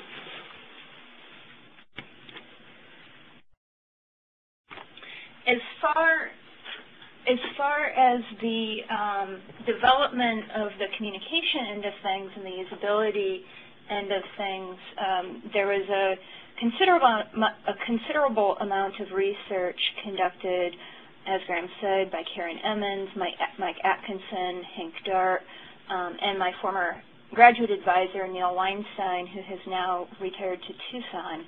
Um, and this research included uh, experiments and interviews and focus groups and intensive reviews of the literature, um, both empirical literature, what was available at the time. Again, this is up through maybe 99 or 2000 um, in the initial development, and then also um, several different theoretical approaches, what we knew about um, communication theory, psychology theory, um, and and other sorts of um, approaches. The, um, as I mentioned, communication strat strategies themselves were based on the core principles of risk communication, um, risk perception, and health behavior change. And one of the things that was agreed on um, very, very early on was the, the vital importance of, of helping people recognize that they can actually change their risk. And not only to, to help them realize this, but to provide very specific behavioral recommendations. Um, they did not want to assume that anyone knew, you know, make no assumptions about knowledge amongst the public because the public is so incredibly diverse. Um, again, the purpose of this was to motivate behavior change, um, not to help people wrestle with a difficult decision as, as, was reflected in some of the previous talks. So the tool that was developed really reflects that purpose of, of motivation. So we considered, they considered multiple issues along the way. As I mentioned, the principles of risk communication. Some of the things that were addressed was uh, the number of risk levels. Do we use five risk levels or, or seven? Um, this is another one of those ongoing debates that, that Brian mentioned about um, when you're assessing or when you're, you're showing risks like this, how, how detailed do you go? Um, what types of words should be used as descriptors. Uh, there was there was pretty quick agreement that words should be included, but the the type um, was in question, and, and I'll illustrate that shortly. Uh, what type of visual display? There are bar graphs. Um, the pictographs actually weren't prominent on the scene at the time, but uh, thermometers and speedometers um, were also considered. Uh, and then there was also the need felt to convey an approximation of personal absolute risk. And this reflects back this idea that this is a relative risk calculator, but the need to, to show people about what their absolute risk is was also important. And this was accomplished in kind of a unique way. You'll see on the right of the screen um, the output for your disease, an example output for your disease risk, and then there's a black bar labeled your risk. Now, we're not going to pretend that's absolute risk in the sense of 2.4% risk. Um, but what that does is it shows people where they are, and it also shows people, it provides a, a verbal label, either high, average, or low. So um, this is almost like a, a, a, combination of multiple types of communication strategies blended into one graph for a specific purpose. Principles of behavior change were also considered. Um, specifically, um, again, what can people do? What actions can people take to change their risk? And so people were provided with a number of risk factors, and these, these risk factors were based on what they had entered before. So not everyone received the same types of risk factors. I, I pulled this off of a off of a um, off of a simulated uh, risk assessment where I, I made I, I, I entered the data as though a person was at extraordinarily high risk of, of colorectal cancer. And what you see um, also is they can on the tips uh, hyperlinks then it goes to a place where it links to American Heart Association, um, Centers for Disease Control. There are also um, specific tips like jogging, walking, dancing, whatever you enjoy. Again, this was meant to um, address people's unmet information needs and to help them relate it to their own lives. We also included principles of persuasion and adult learning. um, the old the old um, um, persuasion literature from social psychology, the heuristic systematic model, the elaboration likelihood model, all of those were considered in the development. And we also went into the educational literature to see how adults learn, because that's what this really is. It's, a, it's adult learning. And so one of the things that came up out of that was this idea of um, uh, active engagement in some way. And the way they accomplished this was by enabling people to actually watch how their risk changed if they were to choose a specific uh, prevention strategy. So you see that the risk on this slide is above average and all of the boxes on the right are blank. You click two of those boxes and you see how the risk drops. And, excuse me, I, I made an error in a, a, previous slide. The absolute risk connotation was, was indicated by your lowest possible risk. Now, what this what this also includes is another thing that that Brian had mentioned previously about providing coarse level data for an initial step and then more specific data later. And you can see that by the links at the bottom that say what makes up my risk and what does my risk mean.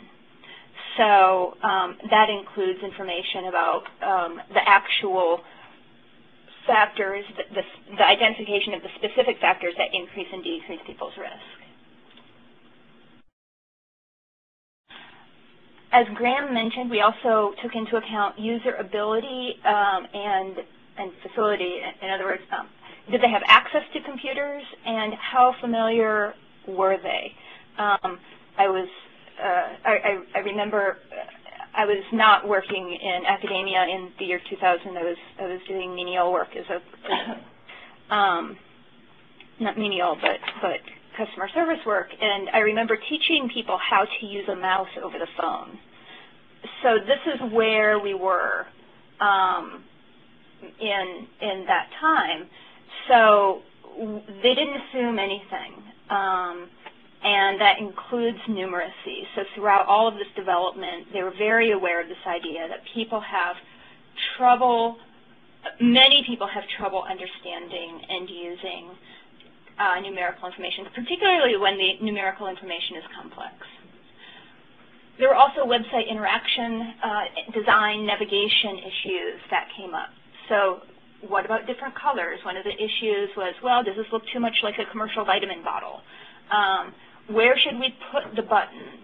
Um, how do we brand this so people know that it, at the time it was Harvard, um, you know, finding a brand for your disease risk and using that consistently. Um, so I mentioned all this research. Where are the publications?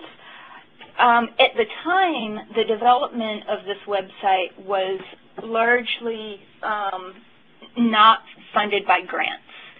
So um, that means that the work had to be done relatively quickly um, in an unfunded way, and uh, part of that was asking answer, asking only very practical questions. And sometimes the practical questions that we need the, that are most important implementations may not be of theoretical interest to academia. So that's where a lot of those publications ended up. Um, Yeah. Ah. So when um, was a decision made to go live? Um, basically, the Your Disease Risk team asked several questions, including, is the science in line with the uh, latest consensus review? Are our messaging uh, strategies sound? Do the changes affect the usability in a bad way? What about bugs or errors in programming? And have we maintained good e-health practices? Is the privacy policy up to date? Um, have we disclosed any conflicts of interest or avoided them entirely? Those types of things. And I have um, a website to go to at the end that explains that a little bit more.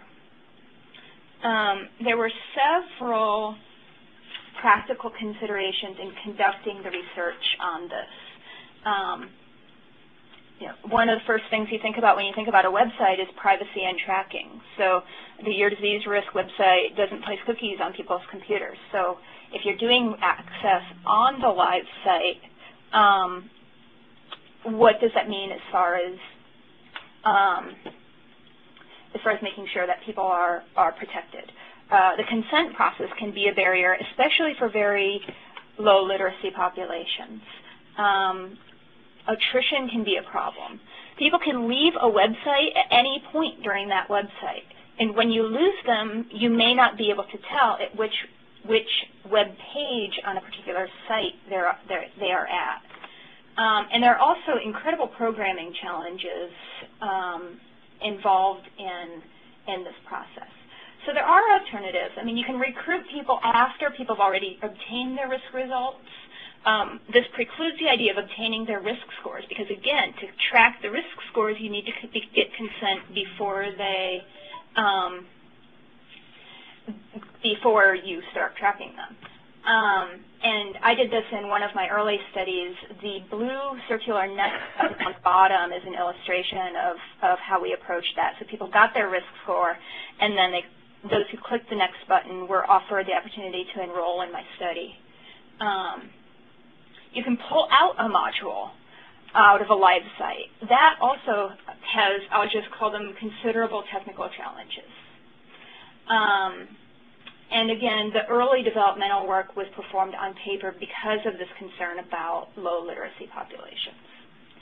Um, as far as the technical challenges, I'm not sure if we have any people involved in on the technical end of things here. There are multiple types of pro computer programming involved, from just basic website design all the way through the process of calculating the risk code. And you have to find a way to make those languages talk together in a nice way, and, and that's difficult. That's especially difficult because languages change over time, including programming, and a language that was perfectly good 10 years ago may not be perfectly good today. Um, and so this idea of maintaining the website and keeping the website flexible and dynamic really needs constant attention from experts.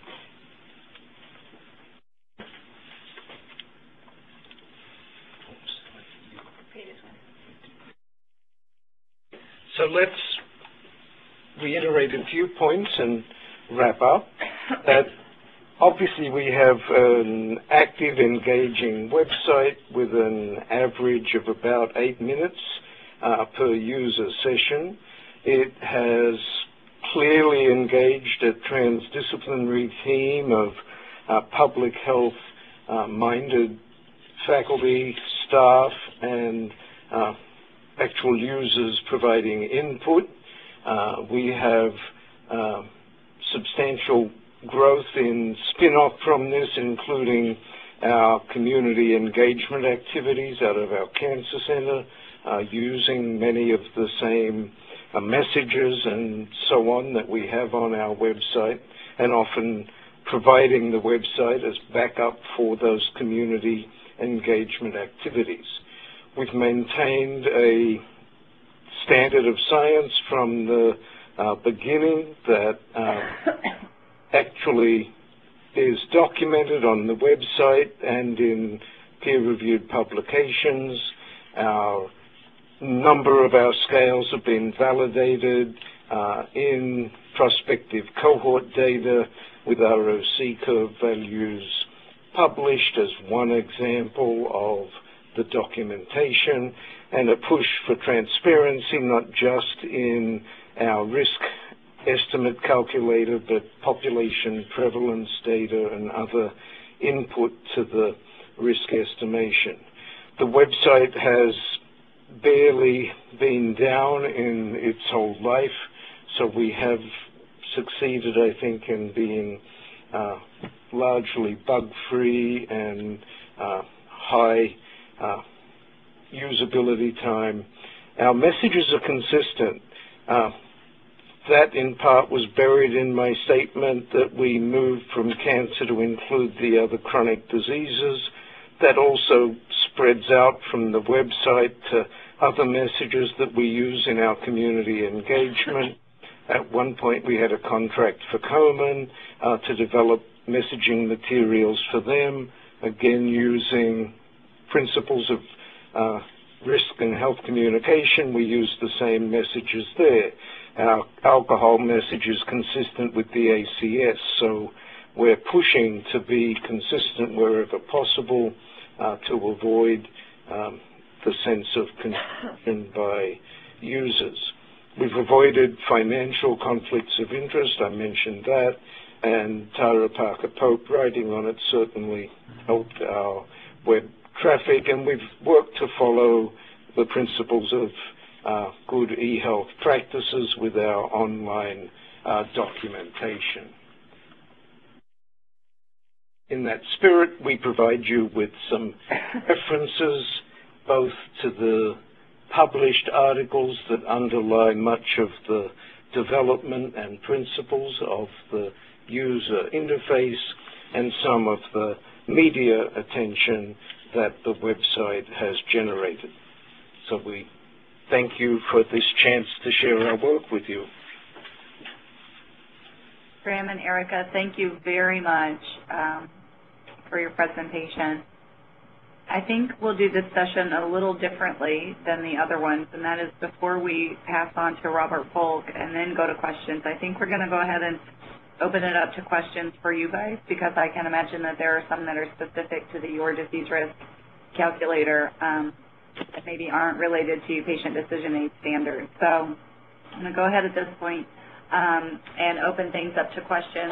Uh, we have a couple uh, that have been typed in, but I do uh, want to bring up something, Graham and Erika, that we talked about on the phone earlier um, that's for maybe the benefit of all of the attendees, and Andy Freedman might jump in as well, and that is, you know, I really appreciate that your site was set up um, with the intention to provide behavioral recommendations to encourage people to reduce their risk. And love that you base those principles on um, persuasion and adult learning.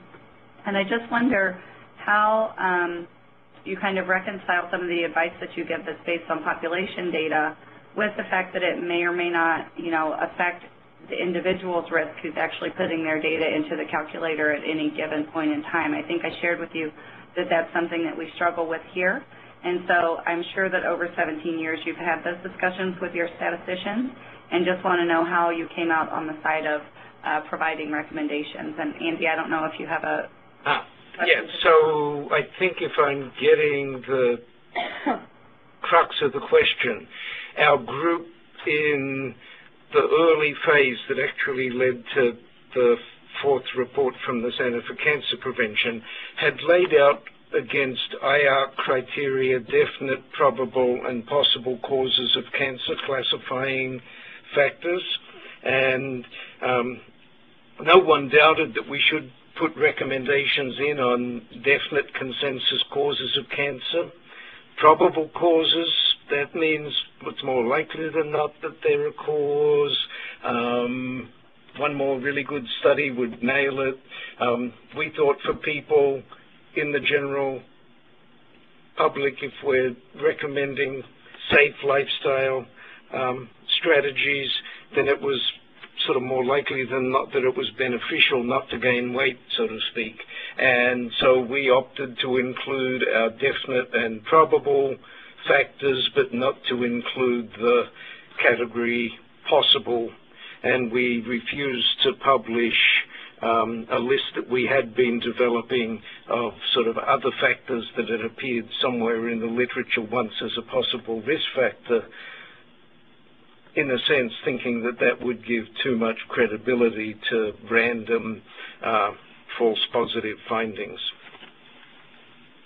It's also a very basic precept of risk communication that you, you don't alarm people unless you provide them with a way to reduce their fear because um, that can be counterproductive. Um, they may begin ignoring recommendations, and so so if they're afraid and you don't offer them a way to get out of that, then then that fear remains. And so one way of, for them of avoiding this fear, this constant fear, is to say, you know what, I'm just not going to think about it anymore. I'm not going to get screened. I'm just going to ignore it.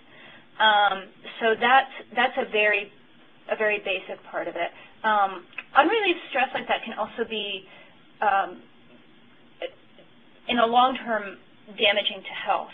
So there's some data out of the early work based off of, I think it was Three Mile Island, that the people who were in uh, or near the affected area who were not able to move had long-lasting stress experiences that people who were able to move out of that area did not have.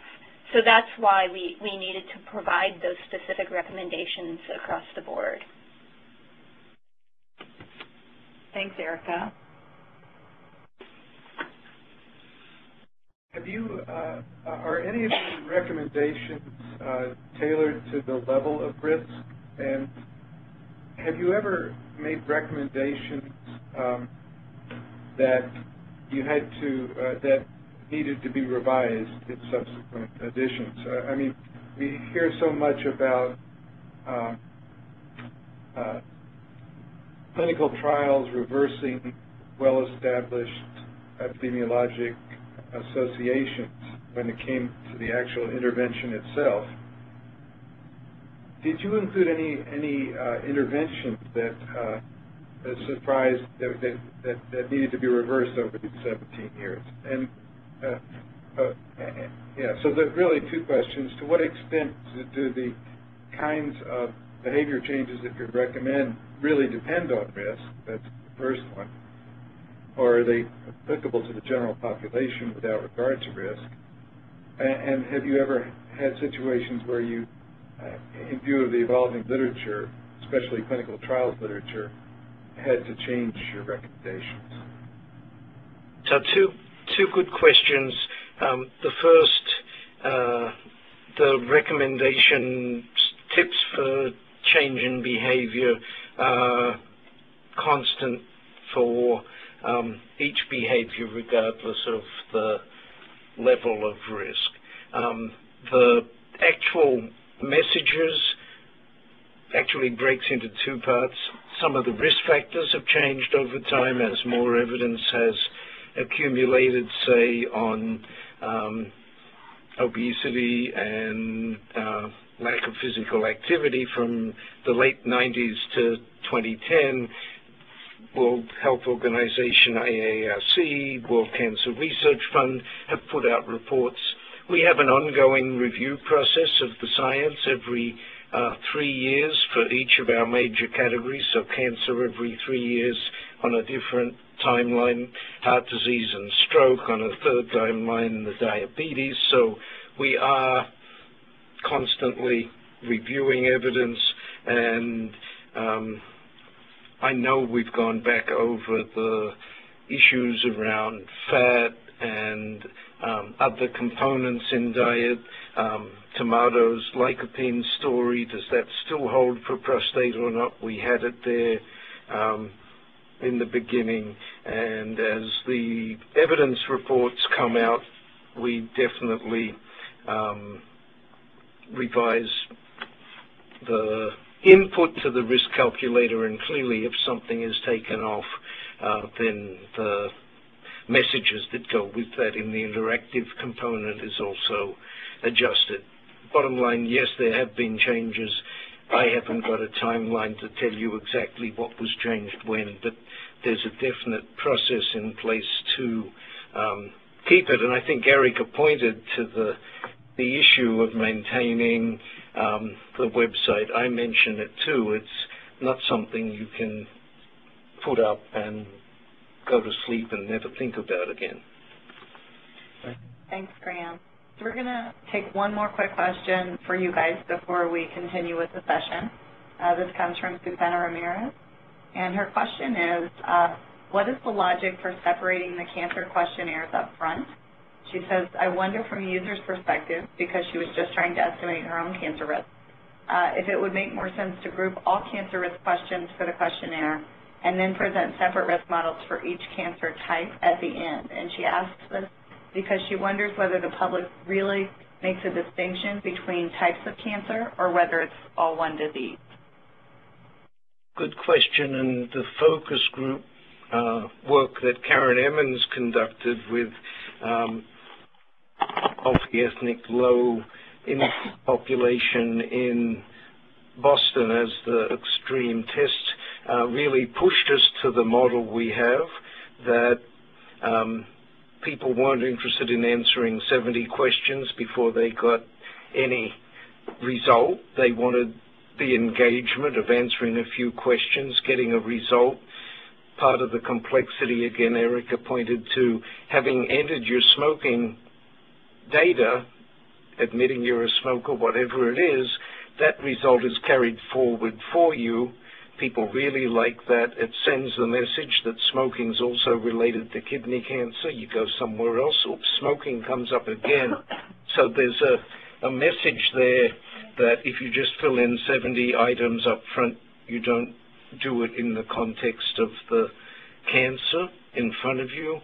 So the communication, uh, usability, sort of our behavioral psychology, health literacy team pushed us to go with the design we have. Great, thank you very much. Kelly? Yes. Can I just add real briefly um, on regards to the last question? Um, one of the things, though, that about the making recommendations that you might have to later go back and change, there are some behaviors that that we just know are very, very bad. So you would never not recommend that a smoker stop smoking. You would never recommend that a person who's not physically active at all, you know, continue that physical activity. And so even though if, if some small minor things might change, and I don't know if lycopene is in or not, but the overall message of eat a healthy diet, don't smoke, be physically active remains the same. Good point. Thanks, Erika. Okay, with that, we're going to continue on our implementation session and turn this over to Dr. Robert Volk at MD Anderson Cancer Center, who's going to um, talk about risk assessment and informed decision making and give us perspectives from the International Patient Decision Aid Standards Collaboration, or IPDAS. Okay, thank you. Uh, thank you, Kelly. I appreciate having some time today, and I know we're at the end of a, a fairly long session. I appreciate people sticking with us here. One of the perils of uh, naming your project early on is changes in technology. So if you Google IPDAS, invariably Google will change it to iPads. And you find a lot of things that don't have anything to do with with uh, uh, uh, standards for developing patient decision aids. So I'm really going to um, expand the discussion quite a bit um, in, in that um, the International Patient Decision Aids Collaboration Group um, you know, has done some work around establishing standards for decision aids where risk, or what um, we're calling you know, probabilities, when we look at the different um, uh, dimensions of decision aids, play a very important role, but only one of many roles in, in helping patients make informed decisions. Um, so uh, today I'm going to talk a little bit about, uh, well, first I need to define um, informed or shared decision making and also, also patient decision aids. And then um, I'll discuss briefly the IPDAS story, a little bit about how the organization was formed, um, some of the work that the collaboration has done, and sort of where we're going uh, uh, with IPDAS. Um, I'll comment on um, sort of my thoughts on the role of risk assessment in current patient decision support tools, and then try to sort of connect the dots for, for the modelers who are, who are creating these risk prediction uh, tools and the developers and disseminators of patient decision aids. Um, so that we can kind of come up with sort of a, you know, maybe the beginnings of a common agenda. Uh, so uh, first off, there's been a lot of attention in the literature for quite a while now about the importance of shared decision making and preference-sensitive decisions.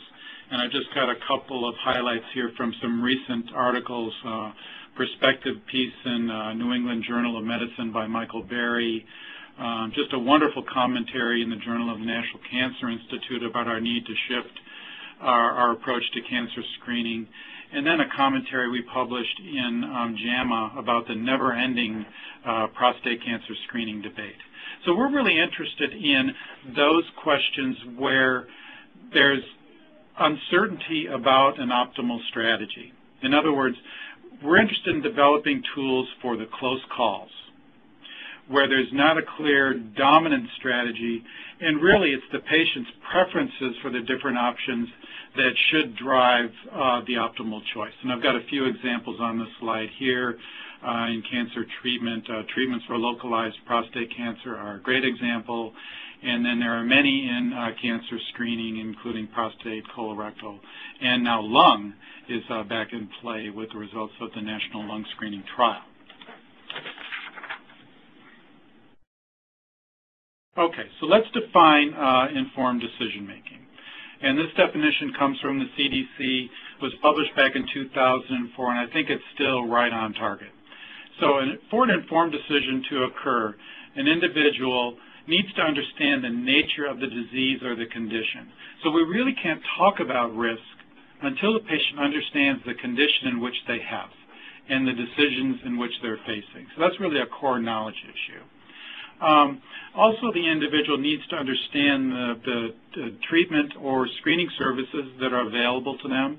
They need to understand the risks and limitations of those services, the potential benefits, and if there are alternatives related to those uh, services. They also need to consider their values and their preferences as appropriate in making the decision. So what's important to the patient in making the decision is really central in making a preference-based decision. Um, people also talk about uh, the patient um, considering how involved they want to be in the decision. What is their preference for involvement? Um, there's some very interesting uh, research that has shown that preference for involvement does vary by socio-demographic group and so on. But there's also, and I think even more important research that shows once patients are educated about the decisions they face and brought in to be partners with the decisions, invariably they want to participate. They're much less likely to defer authority to um, you know, an expert such as uh, uh, their doctor. And then finally, uh, for an informed decision to make, the patient needs to make a decision that's consistent with his or her values. Informed decision-making becomes shared decision-making when decisions are made within consultation with a healthcare provider. Okay, so here we have a long definition of patient decision support technologies or patient decision aids, and I want to highlight a couple of things here in this uh, in this uh, definition. So, patient decision support interventions or patient decision aids uh, help people think about the choices they face. So they help them deliberate. They provide them information about the options that they face and where it's reasonable, including the option of taking no action. These interventions, as I mentioned, help people deliberate independently and in collaboration with others, including their healthcare provider, and by considering the relevant attributes of the different options that they face. Decision aids also help people forecast how they might feel about the short-term, the intermediate, and long-term outcomes of interventions they may select. So there's an affective forecasting component to patient decision aids. And it's now recognized that patient decision aids also help patients construct preferences or construct values around what's important to them. Early on in, in the literature and the thinking, there was sort of an assumption that patients already had clear values and preferences for what they wanted to do, and the real task of the clinician or the task of the decision aid was to un uncover them. We now recognize that actually those values are being formed as patients interact with the information and with their providers, so they're really being constructed. So patient decision aids are not designed to advise, advise people to choose one action or another. They're not meant to be prescriptive. They are not meant to replace the clinician consultation, so they shouldn't be used in isolation. And the bottom line is they help prepare patients to make informed values-based decisions with their healthcare providers. Um, here's an example of some work we're launching here at MD Anderson where we have taken the results of the recent uh, national lung screening trial and begun work to develop a patient decision aid that we can integrate within Flow in the Cancer Prevention Center. And I just included in this next slide here some screenshots of how we're handling um, communicating issues of false positives related to spiral CT, given that those rates really are pretty high. You know, if a patient stays on protocol, uh, comes in for spiral CT for, for three years, there's a good chance that that patient will have a positive result.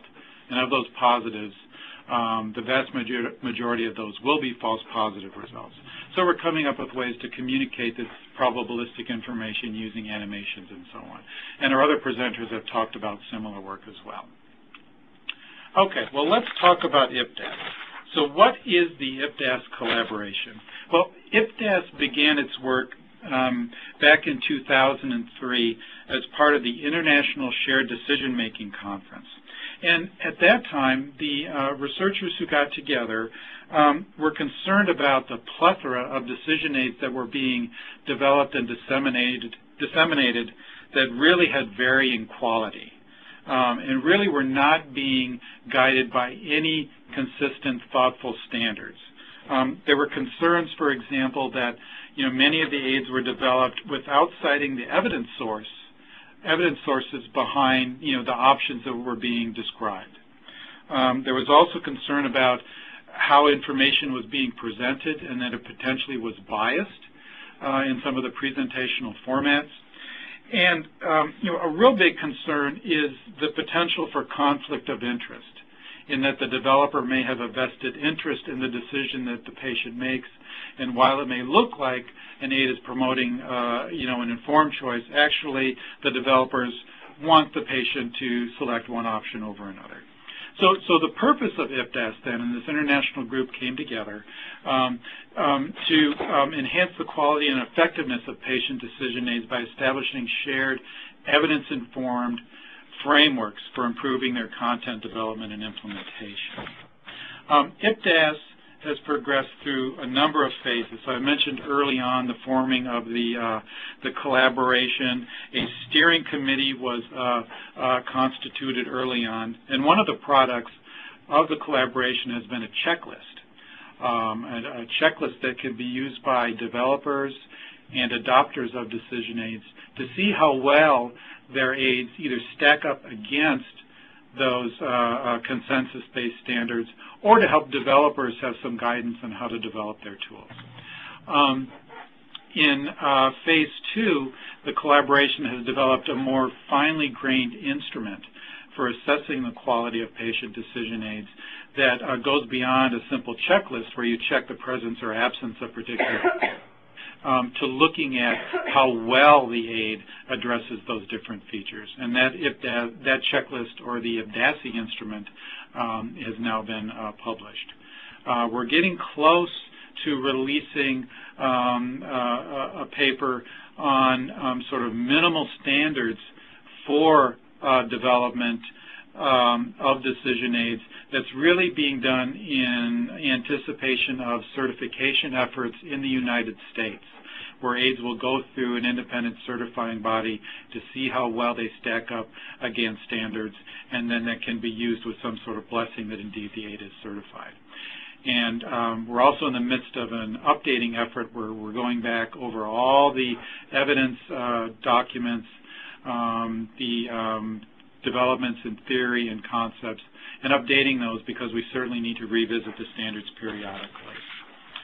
Um, so moving along quickly. Um, the checklist was published uh, in uh, 2006 in the British Medical Journal and is available online at the uh, uh IPDAS website, and I have a link uh, at the end of the uh, presentation if folks want to go and take a look at both the publication and the checklist as well. I want to make the point that the international collaboration was very careful in um, and um, making sure that we had significant stakeholder involvement in coming up with these standards. So while we did these wonderful reviews of the current evidence, of the current thinking in theory, of the current thinking in, in um, um, terminology, we were careful also to bring in stakeholders in evaluating these proposed criteria. So there was significant involvement from patients and patient advocate groups, Clinicians were brought in because we knew they were going to be some of the primary users of these tools, and they would be using them, of course, with their patients. It was important to have policymakers involved as well um, because of the recognition of preference-sensitive sensitive uh, decisions in uh, increasingly in uh, practice guidelines. And of course, researchers were at the table as well because they are primarily the developers.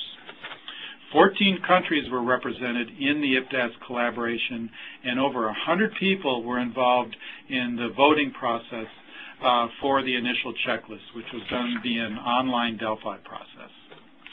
These are the different quality dimensions um, that the collaboration identified.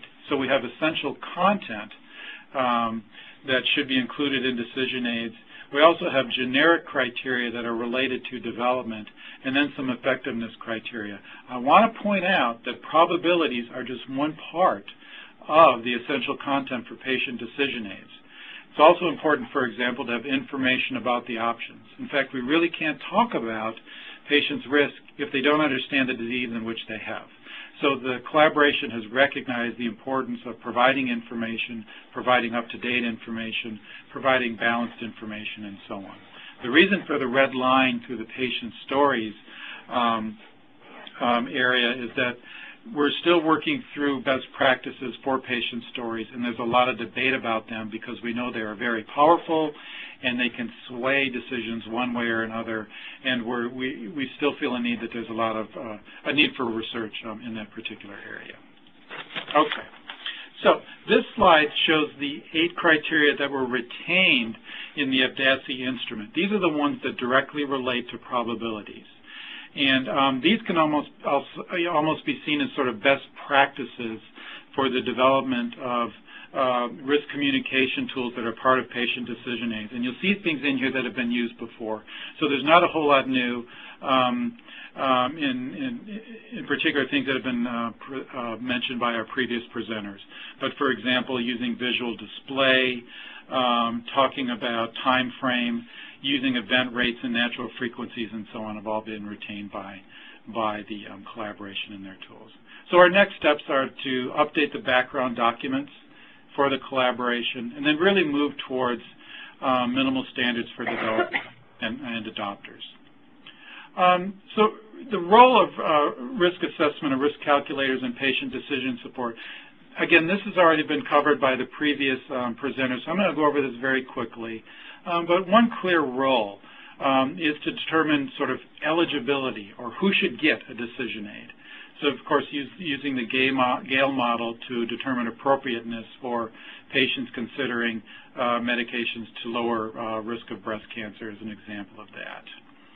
Um, also demonstrating incremental benefits and risks of screening is a very uh, important part of patient decision aids. And here we have an example of a tool from ASCO uh, looking at adjuvant endocrine therapy for hormone receptor positive breast cancer, comparing some of the risks and some of the benefits. And this is very much in line with Dr. Zikmund-Fisher's presentation earlier, where we can get a sense of what the incremental benefit or risk is of, of these various uh, interventions. And then here we have a, a tool from uh, University of Sydney um, that really is more of a full-blown patient decision aid. So what I want to point out is while they do have information of risks, related to stopping. In this case, the question is, uh, should a woman age 70 and older stop having mammograms? They give the risk of uh, dying of breast cancer if indeed she stopped and if she continued, so you can see sort of the magnitude of the difference. It also includes a personal worksheet to help women work through what's important to them in making that decision. And then at the end of the worksheet, they sort of get to, they get to indicate they're leaning for or against um, um, uh, stopping uh, mammograms. So, it, so it's a leaning scale that's part of, part of this tool. Okay, so connecting the dots. Um, one, one point that I want to make here is that, that we have an excellent literature on risk communication for patients and consumers, and we really don't need to reinvent the wheel here. I think what the developers need are just good risk prediction models. Models that help us determine who indeed should receive an intervention, and then models that help us in evaluating uh, comparatively the different interventions that are being offered to patients. Also, in developing models, I think it's very important to ask patient-centered questions. Ask the questions that patients want answered. And again, Dr. Zikmund-Fisher talked about this earlier. Um, but the probabilities that we communicate to patients should be the ones that they are interested in and that are helpful for them in making decisions. And then finally, I think it's very important to recognize that risk prediction is only one piece of a broader puzzle in providing patient decision support, and that modelers um, should consider the implications of their models in fostering deliberation between clinicians and patients. How will the models be used? How will this information be used? Um, modelers can also think about how this information will be used in assessing trade-offs between harms and benefits, and to work directly with sort of the end users, the people who are going to be um, working with these products uh, in, in the real world. So my concluding comments are that risk calculators can and do play an important part in screening and treatment decision making, but they're not sufficient for ensuring informed decisions. And they should be part of a broader strategy to educate patients about their options, harms, and benefits. And I'll stop there for questions. And here's the resources slide that I, that I mentioned earlier. So thank you very much. Dr. Volk, thank you very much. Um, we'll take a few moments uh, uh, for questions before we turn it over to Paul Han for our closing remarks. So if anybody has questions about IPDAS, uh, how they came to consensus on standards for patient decision aids or anything else? Rocky. Rocky again. Uh, do, do, you have any comment on um, in IPDAS about when uh, sort of uh, uh, patient decision aids should be publicly released versus released more in a clinical setting so that they could be done in terms of the clinician-patient uh, interaction and, and not released publicly because of some sense the sensitivity? Yeah, that's that's a very that's a very interesting question. So one of the perils of, of releasing aids to the public is that the, the you know the the interaction with the clinician may never happen. You know, if the patient goes through a tool and, and you know, you know, goodness makes some misinterpretation of what the information is saying, they, they may not follow through and actually have that conversation with the clinician. So, so there is that that peril there. Um, I think the tools are probably, and we don't have evidence for this yet, but I think the tools are probably most effective when they are delivered at point of care. When, one, the patient is really invested in the particular decision um, that they're facing, and there is that sort of immediate opportunity to talk about what is important to them, to really work with their clinician weighing you know, options, harms, and benefits, and coming up with a values-based decision. I think we're really good at communicating risk and probabilities. I think the aids perhaps don't stand alone when it comes time to really fostering that sort of deliberative process and clarifying values. Thank you. Do we have any questions from the telephone? Once again, if you have a question, please press star then one. Please stand by.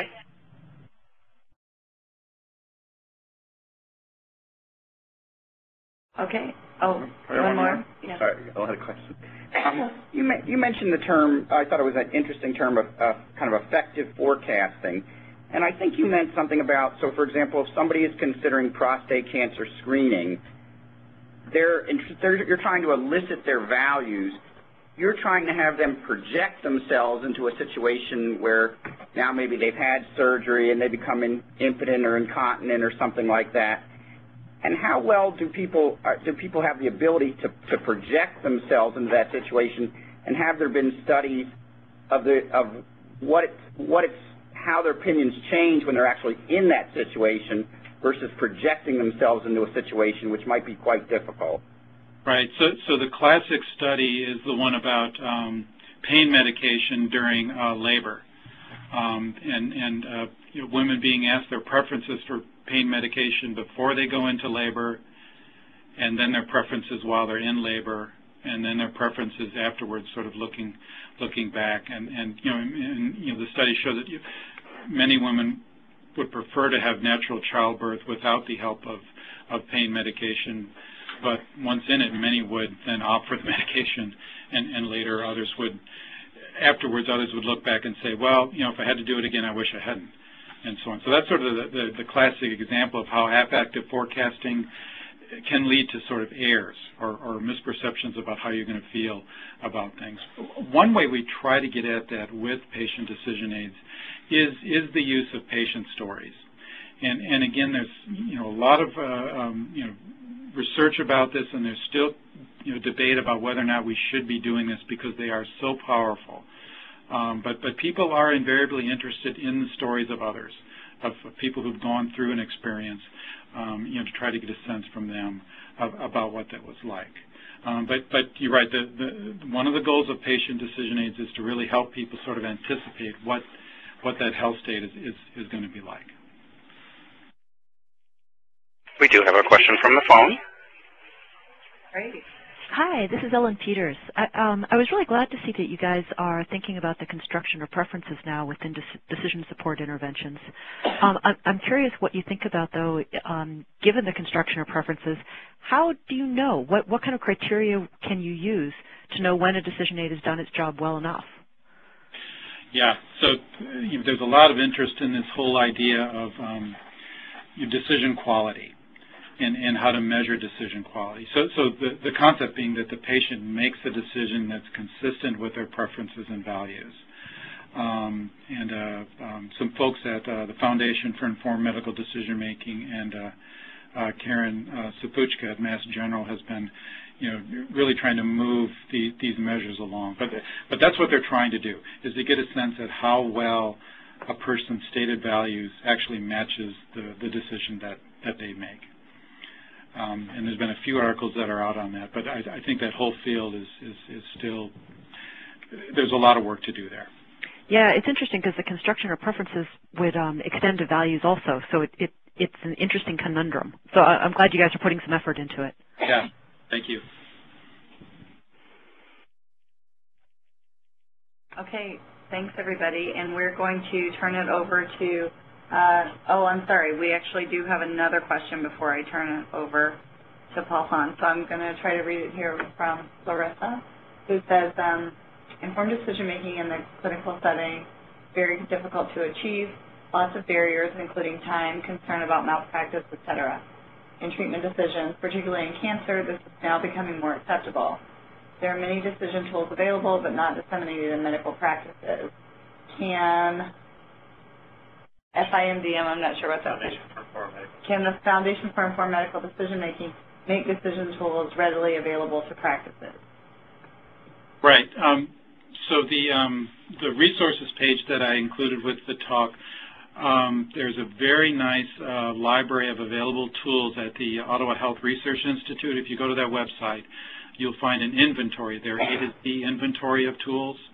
And uh, what's nice about it is in addition to be able to, to get at these tools, they also provide um, the IPDAS checklist, an abbreviated form of the IPDAS checklist. So you can get a sense of how well it, the tool stacks up um, against, the, uh, against the current standards. Um, now, the collaboration and researchers in the field certainly recognize that the next frontier really is implementation and how to get these tools used in practice. Um, there's over, you know, we're approaching 100 randomized controlled trials of the tools, you know, done very much in, you know, sort of a controlled setting, and we have a sense of how they work, we have a sense of how to, how they design them.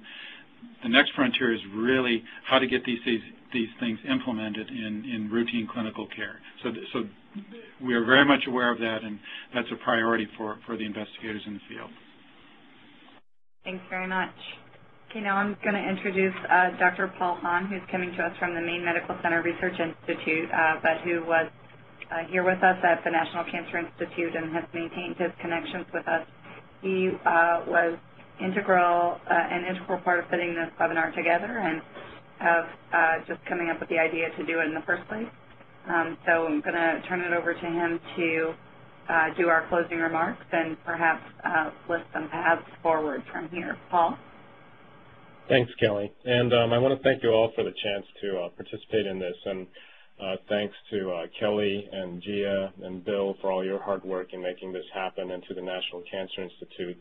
And I'm a bit cognizant of the fact that we're uh, over 4 o'clock. So I'm, I'm going to try to keep my comments brief, which is a hard thing to do because the afternoon has just been really terrific, and you know we, we've had really uh, the leading experts on these topics talking, and I know I personally uh, learned so much. So I want to thank you, thank all the speakers um, as well.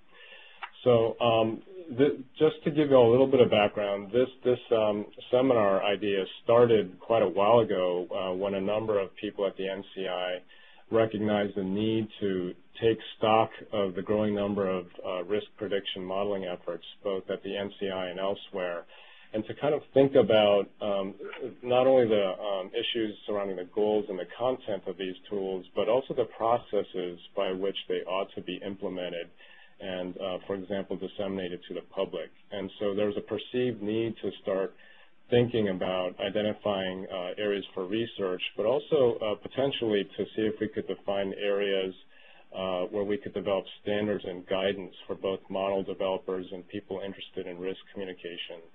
So uh, these discussions led to a lot of thinking and, and desires to bring together uh, experts to really talk about these topics, and, and, so that's where we are today. And again, it's been really gratifying, and, and I think it's been a great uh, learning session today. Um, I was going to try to summarize a bit of, of each individual uh, speaker, but I think I'm not going to do that in the interest of time, and, and I'm just going to cut to what I see uh, as some pearls of wisdom that we learned today uh, in the form of some uh, potential research questions for the future and questions that we might ask ourselves both as researchers and users of these models and in a way to try to connect the dots of some themes that I think we heard from, from several different speakers and that I think are really important. Uh, first of all, is, is, a question really to risk modelers, you know, people like uh, Andrew and, and Mitch um, and others. And I think both uh, Andy and Mitch raised the point that the existing models certainly have issues in terms of um, limited accuracy and discrimination, particularly for use at the individual level for clinical decision making.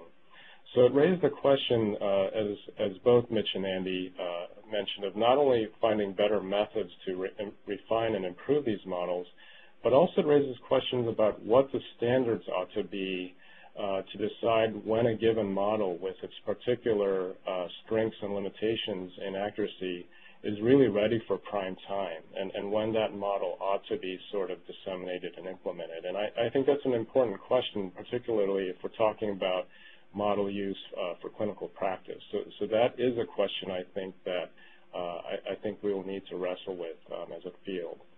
Then secondly, to, to risk communication researchers um, in particular, we heard a lot about some promising insights and best practices from uh, a few of the leaders in the field in terms of developing and studying risk perception and risk communication uh, uh, tools.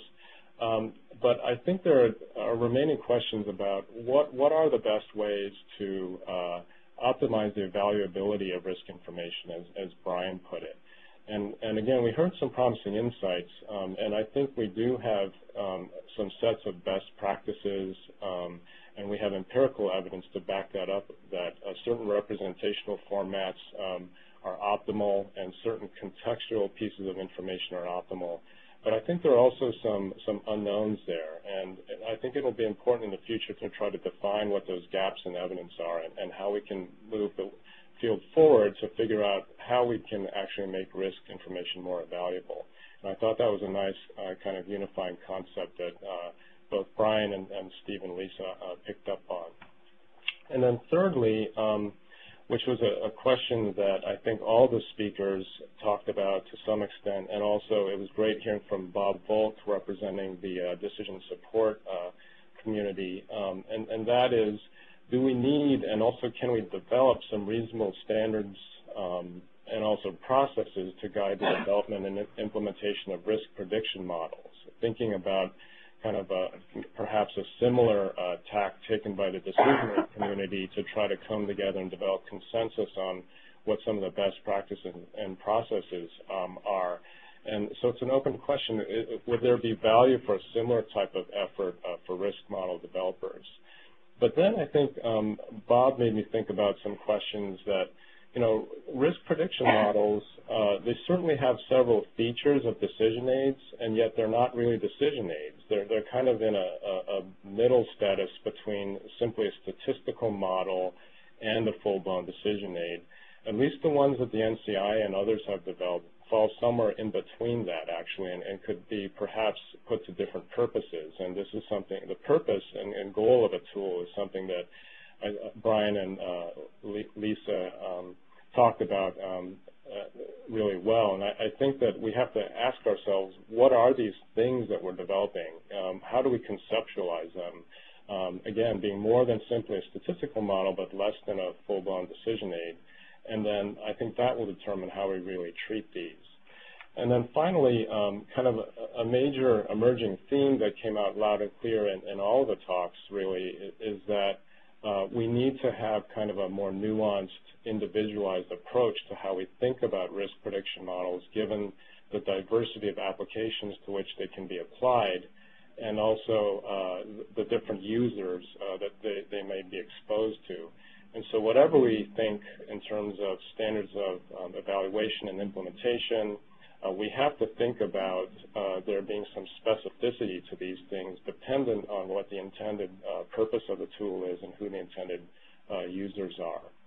So uh, finally then, I, I, think in terms of research to move the field forward, um, I think there needs to be both conceptual work that thinks about, well, what are we dealing with? What are these tools? And what are their purposes? And kind of develops, um, I, think, a, a, a, kind of systematic approach to conceptualizing their goals um, and uses.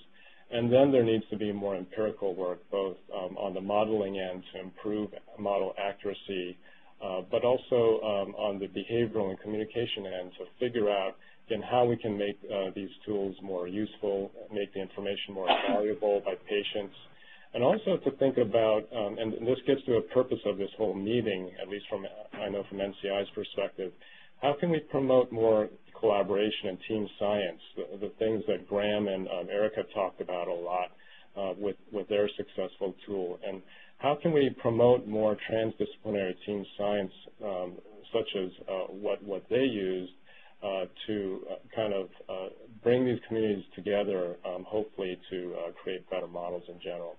So those are, you know, quick, quick, fast overview of some initial thoughts and questions that I had. And I again want to thank everybody for your participation.